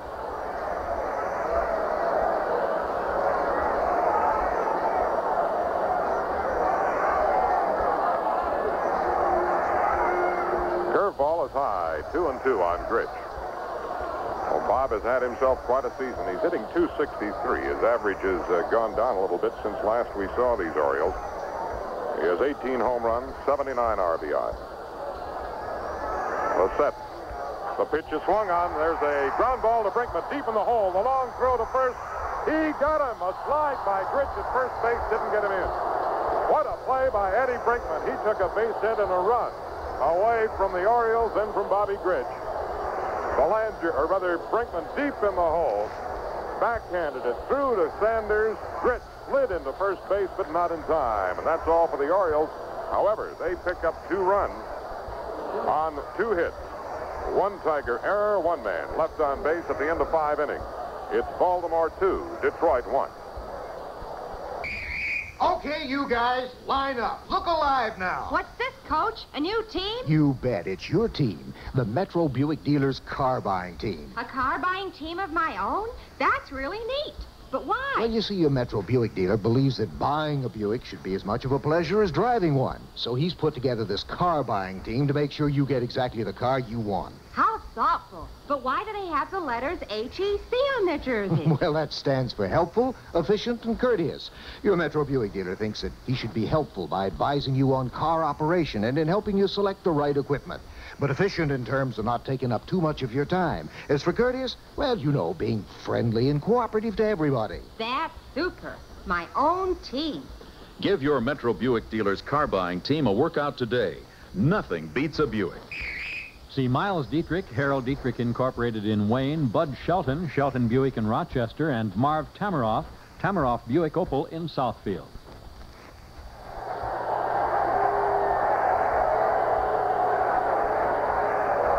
Here's Ron LeFlore to lead it off for the Tigers in the sixth inning against Dave McNally, who for the first time in the game is working with a lead. Baltimore leading it two to one. The pitch to LeFlore is cut on and missed. Strike one. McNally has struck out four Tigers. He's walked one. The left-hander is ready. He pitches. There's a drive hit deep toward left field, down into the corner. It'll be in for extra bases for LeFlore. Baylor up with the ball, and Ron steams into second with a stand-up double. LeFlore leads off the Tigers' sixth inning with his second two-base hit. Off McNally, that's only the third hit for the Tigers tonight.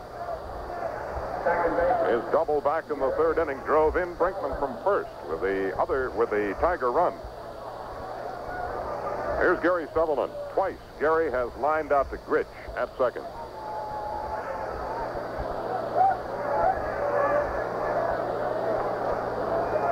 Side of the infield is playing up on Sutherland. And Robinson is in uh, fairly close at third. LeFlore at second, nobody out. And there's a pickoff attempt at second, but he gets back safely. Grich sneaking in behind LeFlore.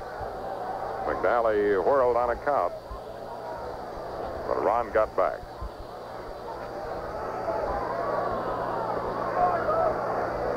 Al Kaline is on deck for the Tigers as Sutherland waits for the first pitch from McNally. There it is. He swings and fouls it back into the seat. Well, both these teams were idle yesterday. The Tigers flying in Sunday night from Milwaukee after posting that 6 to 5 win, gaining an even split on the season with the Brewers at nine games apiece. The Orioles came home from successful uh, weekend. Now the pitch is taken uh, on the inside corner for a called strike. So McNally is ahead of Sutherland with a two-strike count.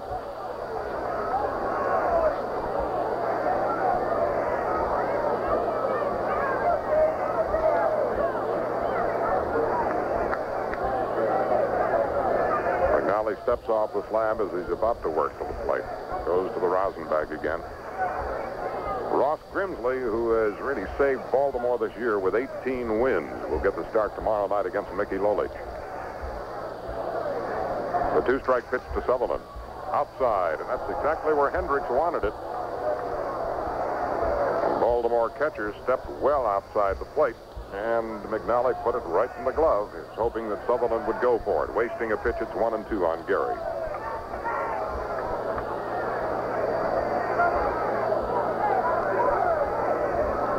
The set by McNally. He looks at LeFlore and comes to the plate with it. Ground ball to the right side. A big hopper toward Powell. He has to wait for it, then shovels it, and not in time. That was a tough play.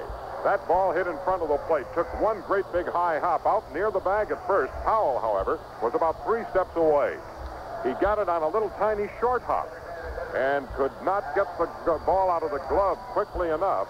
He had difficulty shoveling the ball to McNally covering it first, and Sutherland beat it by an eyelash.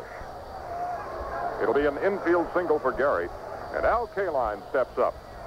One for two for Al, hit number 3,000. A two-base hit into the right field corner came in the fourth inning. LeFlore at third, Sutherland at first. The Tigers trail two to one here in the top of the sixth inning. McNally ready to work. Goes to first instead, and it is very close. But Sutherland is back. Joe Brinkman, first base umpire, right on top of the play. McNally comes halfway over to the bag before getting the ball back from Boog Powell, and he has some words for Joe Brinkman. He's still giving him some words. Gary got back by his fingernails that time, uh, hitting the dirt, reaching out. Called safe by Brinkman. Now time is called. Hendricks has gone out to talk to his pitcher. And there's some activity out on the Baltimore bullpen. Alexander is beginning to loosen up for the Birds.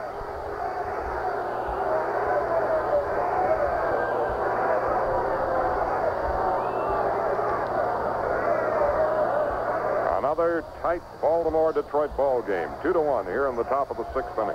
Runners at first and third. Nobody out for the Tigers. Kaline is waiting for the first pitch from McNally. Here it comes. Outside uh, corner. He called strike.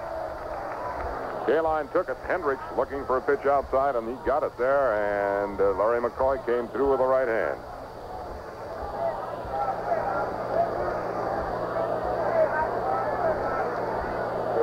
Kaline grounded out to short his first time. Doubled in the fourth inning. He has one strike on him. The pitch from McNally. Swung on base hit to center field. Hit number 3001 for Al Kaline. The game is tied as Kaline drives in Ron LeFlore from third base. Sutherland stopping at second. A hard smash right up the middle. Another clean hit for Al Kaline. He is now number 11 on the all-time hit list in the major leagues, moving one ahead of the late Roberto Clemente. And time is called as Earl Weaver, manager of the Orioles, comes out to the mound to have some words with McNally. He has Doyle Alexander, a right-hander, warming up in the bullpen, which is beyond the fence out in left center field.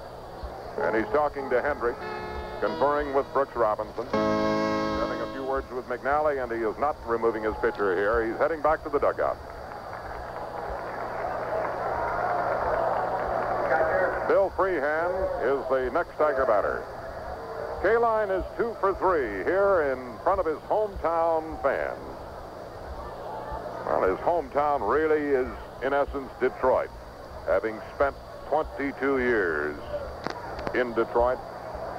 But his mother and dad present here, along with many ex-teammates that he used to play high school ball with and sandlot ball. He's on first, Sutherland at second. Nobody out. There's a bunt attempt. It's popped foul beyond the reach of Boog Powell down the first base line. Freehan trying to move him up.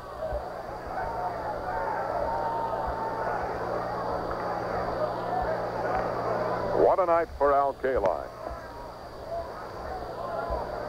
Not one but two hits, and he has driven in the tying run. It's 2-2 with two on. Nobody out in the top of the sixth inning. One strike count on Freehan. McNally ready to work. He squares. There's a bunt. It's out in front of the plate. Fielded by McNally. One play. That's at first base. Grich covering. Freehan with a perfect sacrifice bunt moves the Tiger runners up to second and third. Now let's pause for station identification. This is the Detroit Tiger Baseball Network. Dave Diles comments on sports every morning on Radio 76, WJR Detroit, America's great radio station.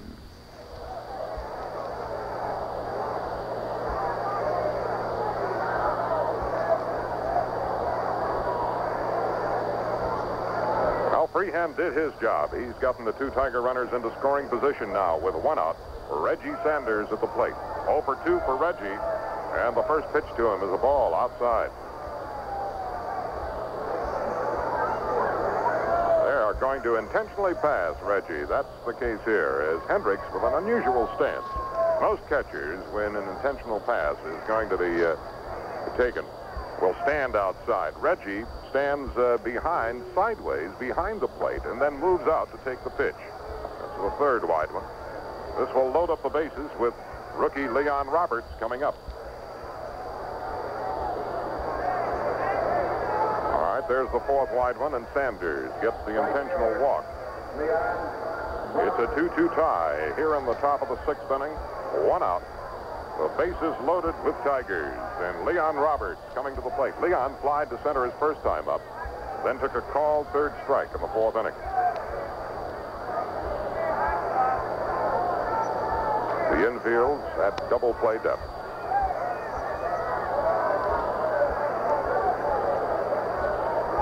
Dave McNally looks in the direction of Sutherland at third. Here's the pitch to Roberts. Low and inside, ball one.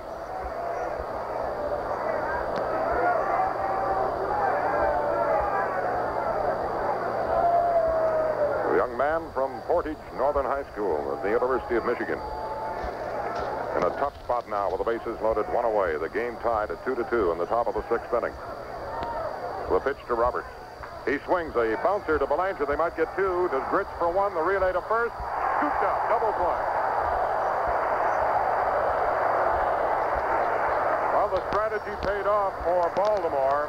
It was a ready-made double play ball. Belanger to Grich to Powell. And that's all for Detroit in the sixth inning. But the Tigers come up with one run on three hits. There were no errors with two men left on base. After five and a half innings, it's now Detroit 2, Baltimore 2. Put yourself in the Stroh's place for a minute. How do you convince a beer lover who's never tried Stroh's beer that it might be the best he's ever tasted? You could tell him about 120 years of family tradition, but he's probably not going to rush out and buy a case.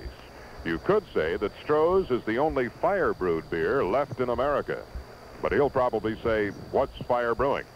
You might tell them fire brewing makes a smooth, mellow beer, but it's not the kind of taste you can put into words. I'll bet if you ran the Stroh Brewery, you'd just sit down with that beer lover face to face, pour him a glass of Stroh's, and say something like, My family brews this beer the way we like it, and we hope you like it too. Then he'll taste it. And at that point, you'd rest your case. The Stroh Brewery Company, Detroit, Michigan.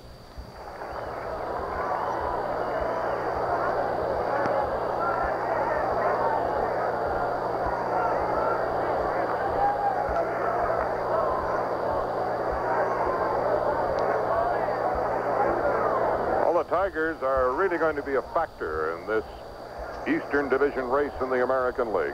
What with these two games at Baltimore, the four coming up with Boston beginning on Thursday night at Tiger Stadium, and the three next Monday, Tuesday, and Wednesday against these Baltimore Orioles at Tiger Stadium.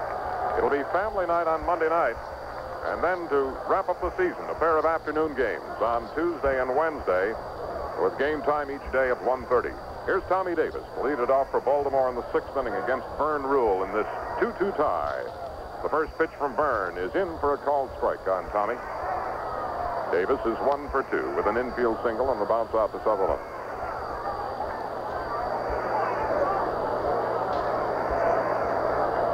Now Tom steps out of the batter's box. Getting himself ready, looking out to the outfield. Pitch from Ruhle, it's a high breaking ball, one and one. The Orioles took a two to one lead in the fifth.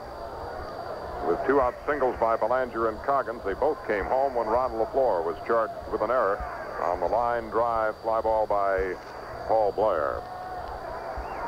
There's a pop-up down the right field line. It's in foul territory, chased by Reggie Sanders near the seats. He can't get it. It's back in about three rows. Both he and Sutherland over there banging into the tarp. One ball, two strikes on Tommy Davis. It was good to see Jim Northrup again uh, around the batting cage before the ball game tonight. Ernie said he hasn't seen enough of Baltimore to know much about the town other than his visits here as a Tiger. Pitch from Ruhle is swung on and fouled back to the screen. Ground remains a ball and two strikes on Tommy Davis. Jim suffered a hamstring muscle pull not too long after he had uh, joined the Montreal Expos. Hitting the ball very well when he had the muscle pull. There's a line smash to center field, a base hit. Out over the mound and out over second base, Tommy Davis leads off the Baltimore sixth with his second hit of the game. And for the Orioles, hit number eight. Here's Boog Powell.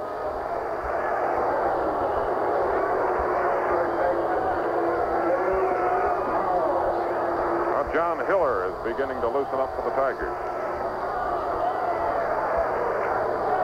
In the second game of that doubleheader between the Red Sox and the Yankees, the Yankees have a one to nothing lead after one inning.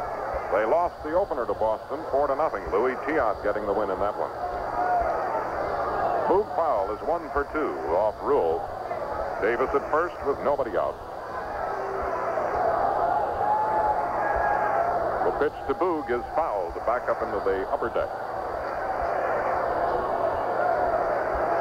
Boog has a hot stick for him uh, of late with 11 hits in his last 24 trips to the plate.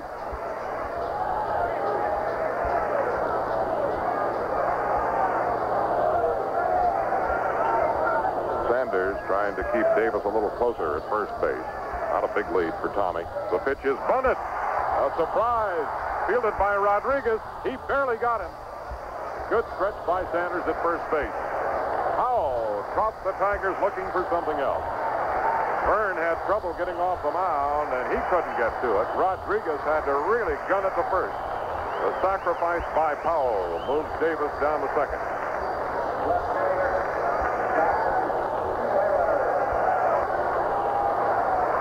The put out on Powell on his sacrifice bunt goes 5-3. Davis now second with one away, and Don Baylor at the plate. Don flied to center his first time up, bounced into a double play his last trip, 0 for 2.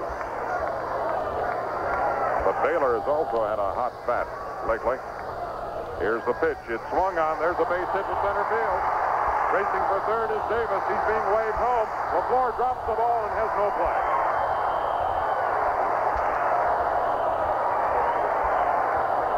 The The lead 3 to 2 here in the sixth inning on the run producing single by Don Baylor.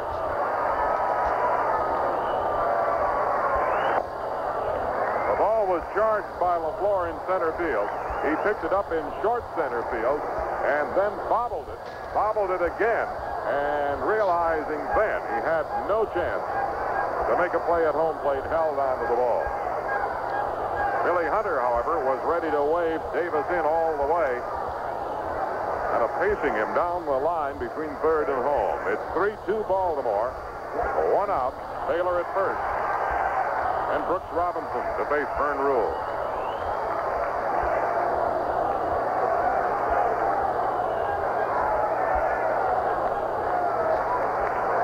Brooks is 0 for 2 with a pair of groundouts. The runner goes, the pitch out. The throw to second. He is safe.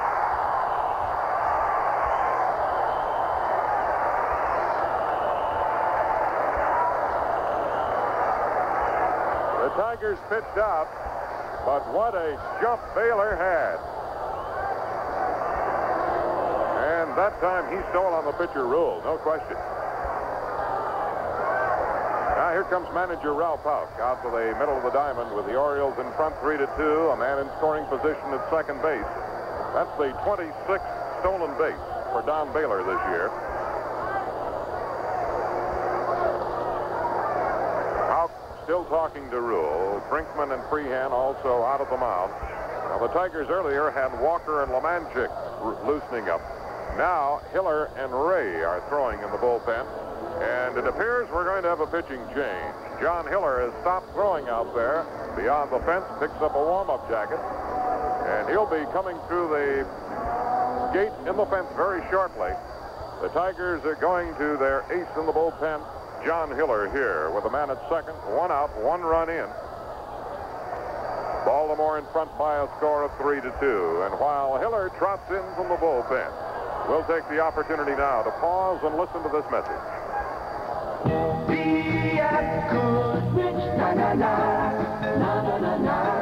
If you're looking for a long-wearing, smooth-riding tire at an easygoing price, come to the other guys, your BF Goodrich retailer. They're having a sale on BFG's four-ply polyester cord white walls.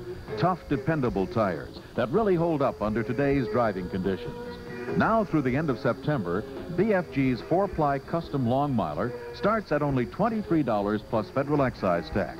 Larger sizes are priced at only 27 and $31 depending on size.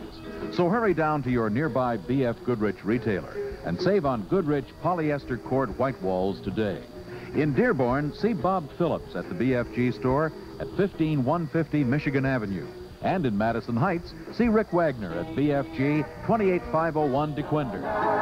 Na na na na.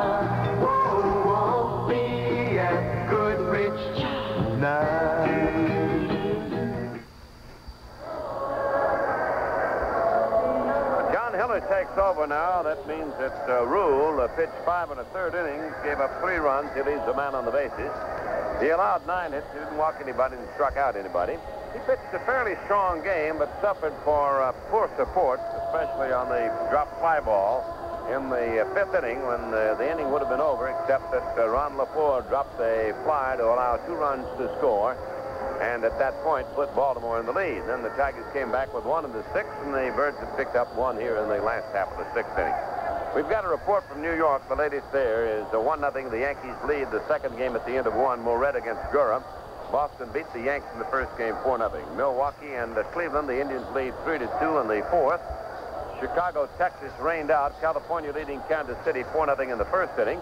Minnesota and Oakland, uh, that game will start later on. Now back to Paul. Thank you, Ernie. And the reaction from the crowd here of boos is not for Boog Powell, but for the fact that they are going to intentionally pass Brooks Robinson as the first job uh, John Hiller does. This will be charged to John, of course. Well, it paid off for the Orioles in the top of this inning as they walked Reggie Sanders to load up the bases, and that resulted in a double play. Here in the sixth inning, the Orioles have collected a single by Davis. He moved to second on the sacrifice bunt by Boog Powell and scored on Don Baylor's single to break the tie. They lead it three to two. Brooks Robinson issued the intentional walk, is on first. Baylor is at second with one away. And Elrod Hendricks scheduled to bat, but Andy Etchebarren will be coming in to bat in place of Hendricks with the Tigers going to the left-hander Hiller.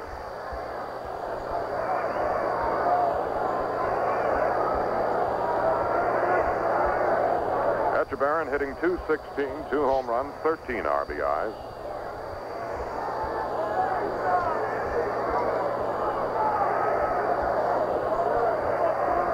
Hendricks, while he was in, was 0 for 2 with a pop out and a ground up.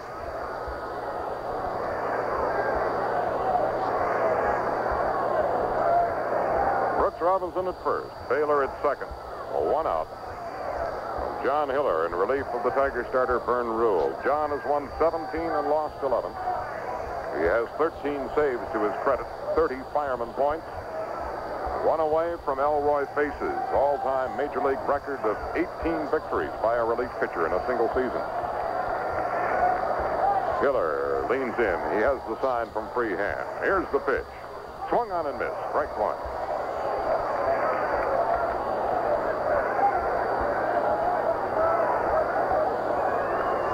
Last Thursday in Boston, Hiller came on to relieve Ruhle to start the eighth inning after Byrne had stopped the Red Sox on two hits over the first seven. In this case, Hiller is taking over with the Red with the Orioles in front three to two. Now the set by John. The pitch to the plate. Etchebarren cuts and misses. Strike. Two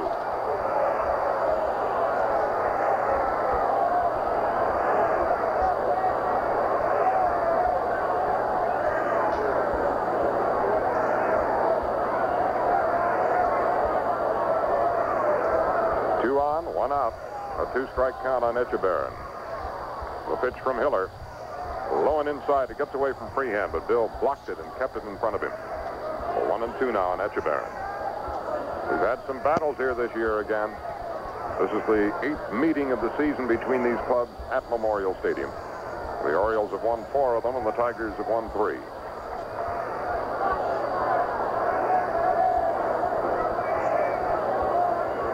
Tiger Stadium this year, the Orioles have taken five out of six. Tiger infield and double play depth. One-two count on Etchebarren as Hiller goes to the stretch. The pitch. The runners go. There's a fly ball lifted to left field. Coming in is Meyer.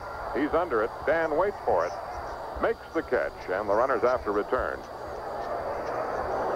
Baylor broke on the pitch for third. Robinson breaking from first. And they all had to come back. Two out now with Mark Belanger coming up. Mark is one for two with a ground out and a single.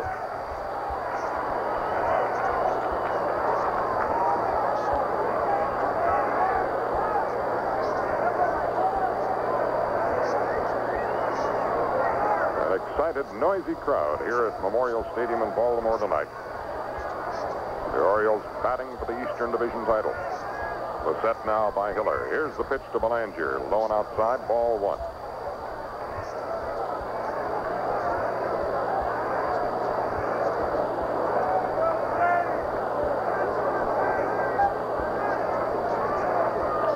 The Orioles have three runs on nine hits. The Tigers two runs on five hits. Swing and a pop-up in foul territory. It may be out of play near the Orioles dugout. Rodriguez over there reaches in and makes the catch. About a step away from the first step in the dugout. Well, that's all for Baltimore as John Hiller comes in and shuts the door on the Birds. In the sixth inning, they pick up the tie-breaking run. One run on two hits. No Tiger errors. There was a walk. Two men left on base. At the end of six, it's now Baltimore 3, Detroit 2. Your marathon dealer does more than just sell you gas. He's your good neighbor for service to your car and driving needs. He's also a good neighbor to the community he serves. Here's a community service tip your marathon dealer would like you to know about. The St. Scholastica Dads Club is having a fall festival September 27th through the 29th with carnival rides, games, prizes, and more right on the parish grounds at Southfield and West Outer Drive. St. Eugene's Catholic Church in the northwest Detroit Southfield area will hold its annual Good Old Days Festival Sunday, September 29th at Edgewater Park. It begins at 1.30 p.m. And the Northville Historical Society invites the public to the 8th annual Northville Historic Home Tour on Thursday, September 26th from 10 a.m. to 4 p.m. These community service reminders are a service from your neighborhood marathon dealer. And Marathon says, here's to our dealers. Bless them all.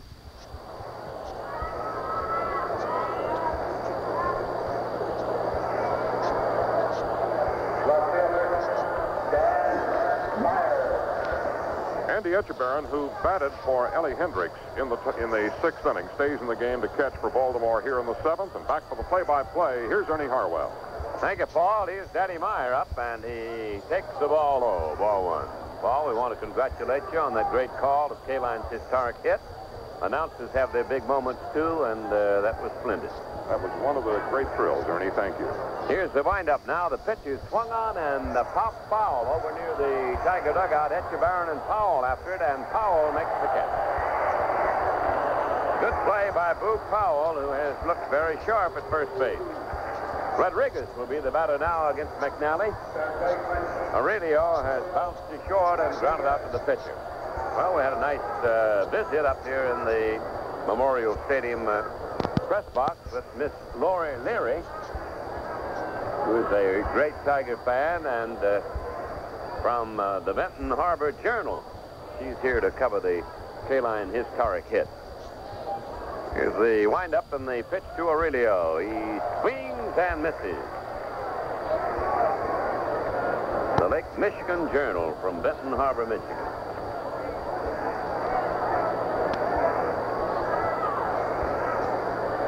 Two the score. The Orioles in the lead. It's the seventh inning. The Tigers have one out and uh, nobody on. McNally's gone all the way. The Tigers had him on the ropes last inning, but he survived with a double play. Strike called. He got a fastball over. McNally's the type of uh, pitcher who will get tougher in the late inning, especially with a one-run lead. Three runs, nine hits for the Orioles. Two runs, five hits for the Tigers. Outfield straight up on Aurelio. The windup, the pitch on the way. He swings as a tapper off his foot. Going down to Brooks Robinson, the uh, ball hits the foot of Rodriguez and bouted into fair territory. And if you've uh, missed the earlier part of the game, Al Kaline has picked up two hits here tonight. A double in the fourth was number 3,000. A single that drove home a run in the sixth inning was number 3,001. He's had two for three in his old hometown of Baltimore. First time up, he bounced to shortstop. Here's the pitch now by McNally to Aurelio Rodriguez. It's a wide one, one ball and two strikes. The Tigers scored first in this game in the third inning. A two-out walk to Brinkman and a double by LeFlore. Then the Birds came back on a two-base error by LeFlore and picked up two in the fifth inning. There's a bounding ball foul outside of third. That's made the score two to one Baltimore. The Tigers then in the sixth tied the game with a double by LeFlore, a single by Sutherland moved him to third, and Kaline sent him home with a single. And then the Birds scored in the sixth inning, the tiebreaker. Single by Davis, sacrificed by Powell, and a single by Baylor. Here's the pitch. Rodriguez takes a half swing and fouls it away. McNally has walked a couple, and he struck out four. Double play for McNally was a big play in his favor there in the sixth inning. When the bases loaded, Roberts ended the inning bouncing into DP. Here's the pitch again to Rodriguez. Change up, swung on a bounding ball, hit through the legs of Brooks Robinson. He managed to get his glove on it, but couldn't hang on. And Rodriguez is safe at first. We'll wait for the score on that one. It was a hot shot, but Brooks got his glove on it, and then it uh, skidded through his leg.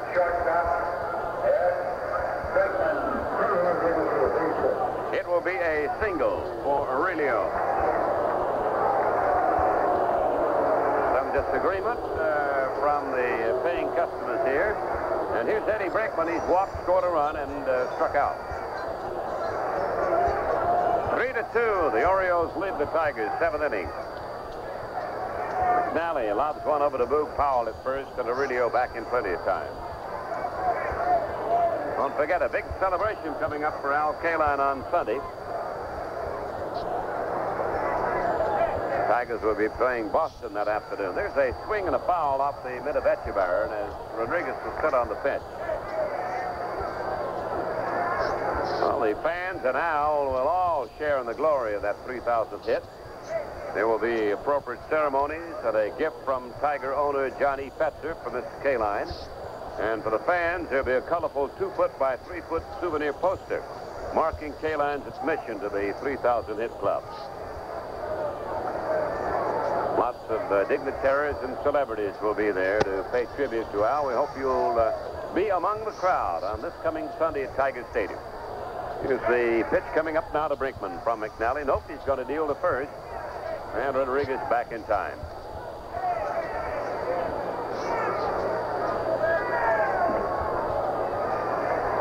Bob Reynolds throwing in the Oriole bullpen at the moment. Now McNally holds it at the belt, delivers, and Brinkman swings. It's a foul fly to right. It'll be well back in the seats in the lower deck. Strike two, the count on Steady Eddie. Well, the Tiger hit total is six.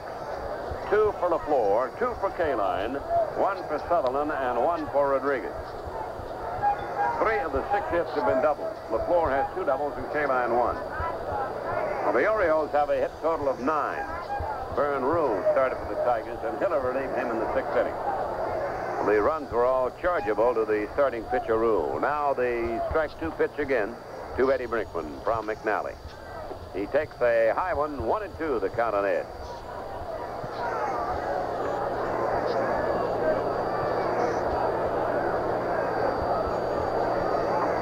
This is the first of a two-game series. Grimsley and Lolich will be the pitchers tomorrow. It'll be a battle of left-handers here at Memorial Stadium in Baltimore. Waiting on a one-two serve. Here it is. He swings. There's a fly ball down in the left field corner, fairly deep. Baylor going back at the wall, looking up, and it is gone. A home run for Brinkman. He got it right down the line at the 309-foot marker, and it drifted into the first couple of rows of seats. And the Tigers take the lead 4 to 3 on Eddie's 14th home run of the season. Oh, Brinkman uh, coming home following Rodriguez crossing the plate. And that home run will send a free case of Superior potato chips to the Jewish Community Center of Metropolitan Detroit. Remember, Superior potato chips give a natural home run taste They are made with real U.S. number one potatoes. And a homer by Eddie Brinkman, sending the Tigers into the lead here in the seventh inning, four to three. Here's Ron LeFlore stepping in with uh, two hits to his credit. And he takes the McNally curve on the inside corner for a strike. Brinkman now has eclipsed his former high in RBIs. He has 51. He'd already uh, gone uh, to the top number of home runs he'd hit in any season. Here's a pitch that jams LeFlore to the shoulder, a fastball. He moves back, one and one the count on Ron.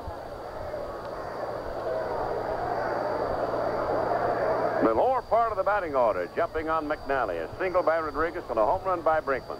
Tigers lead it four to three.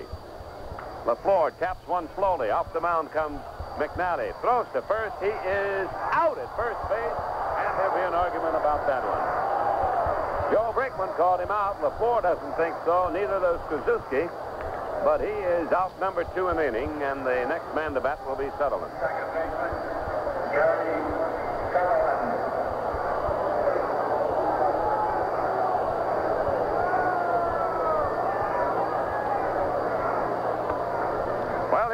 With a single and two line drives to second base. Four to three, the Tigers lead them. McNally winds and pitches, and uh, Gary takes a fastball in close, ball one.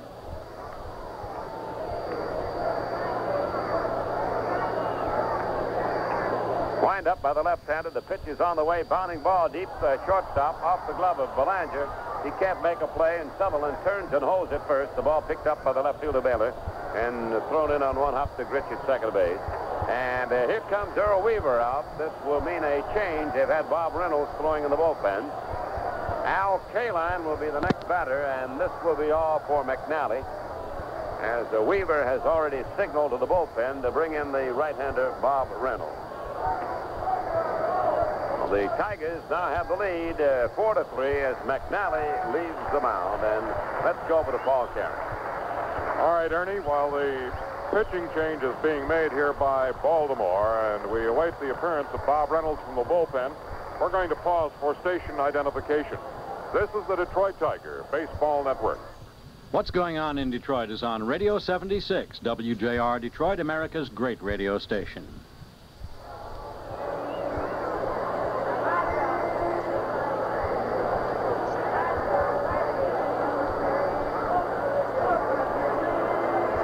Bob Reynolds over here in the seventh inning uh, in relief of the starter, Dave McNally.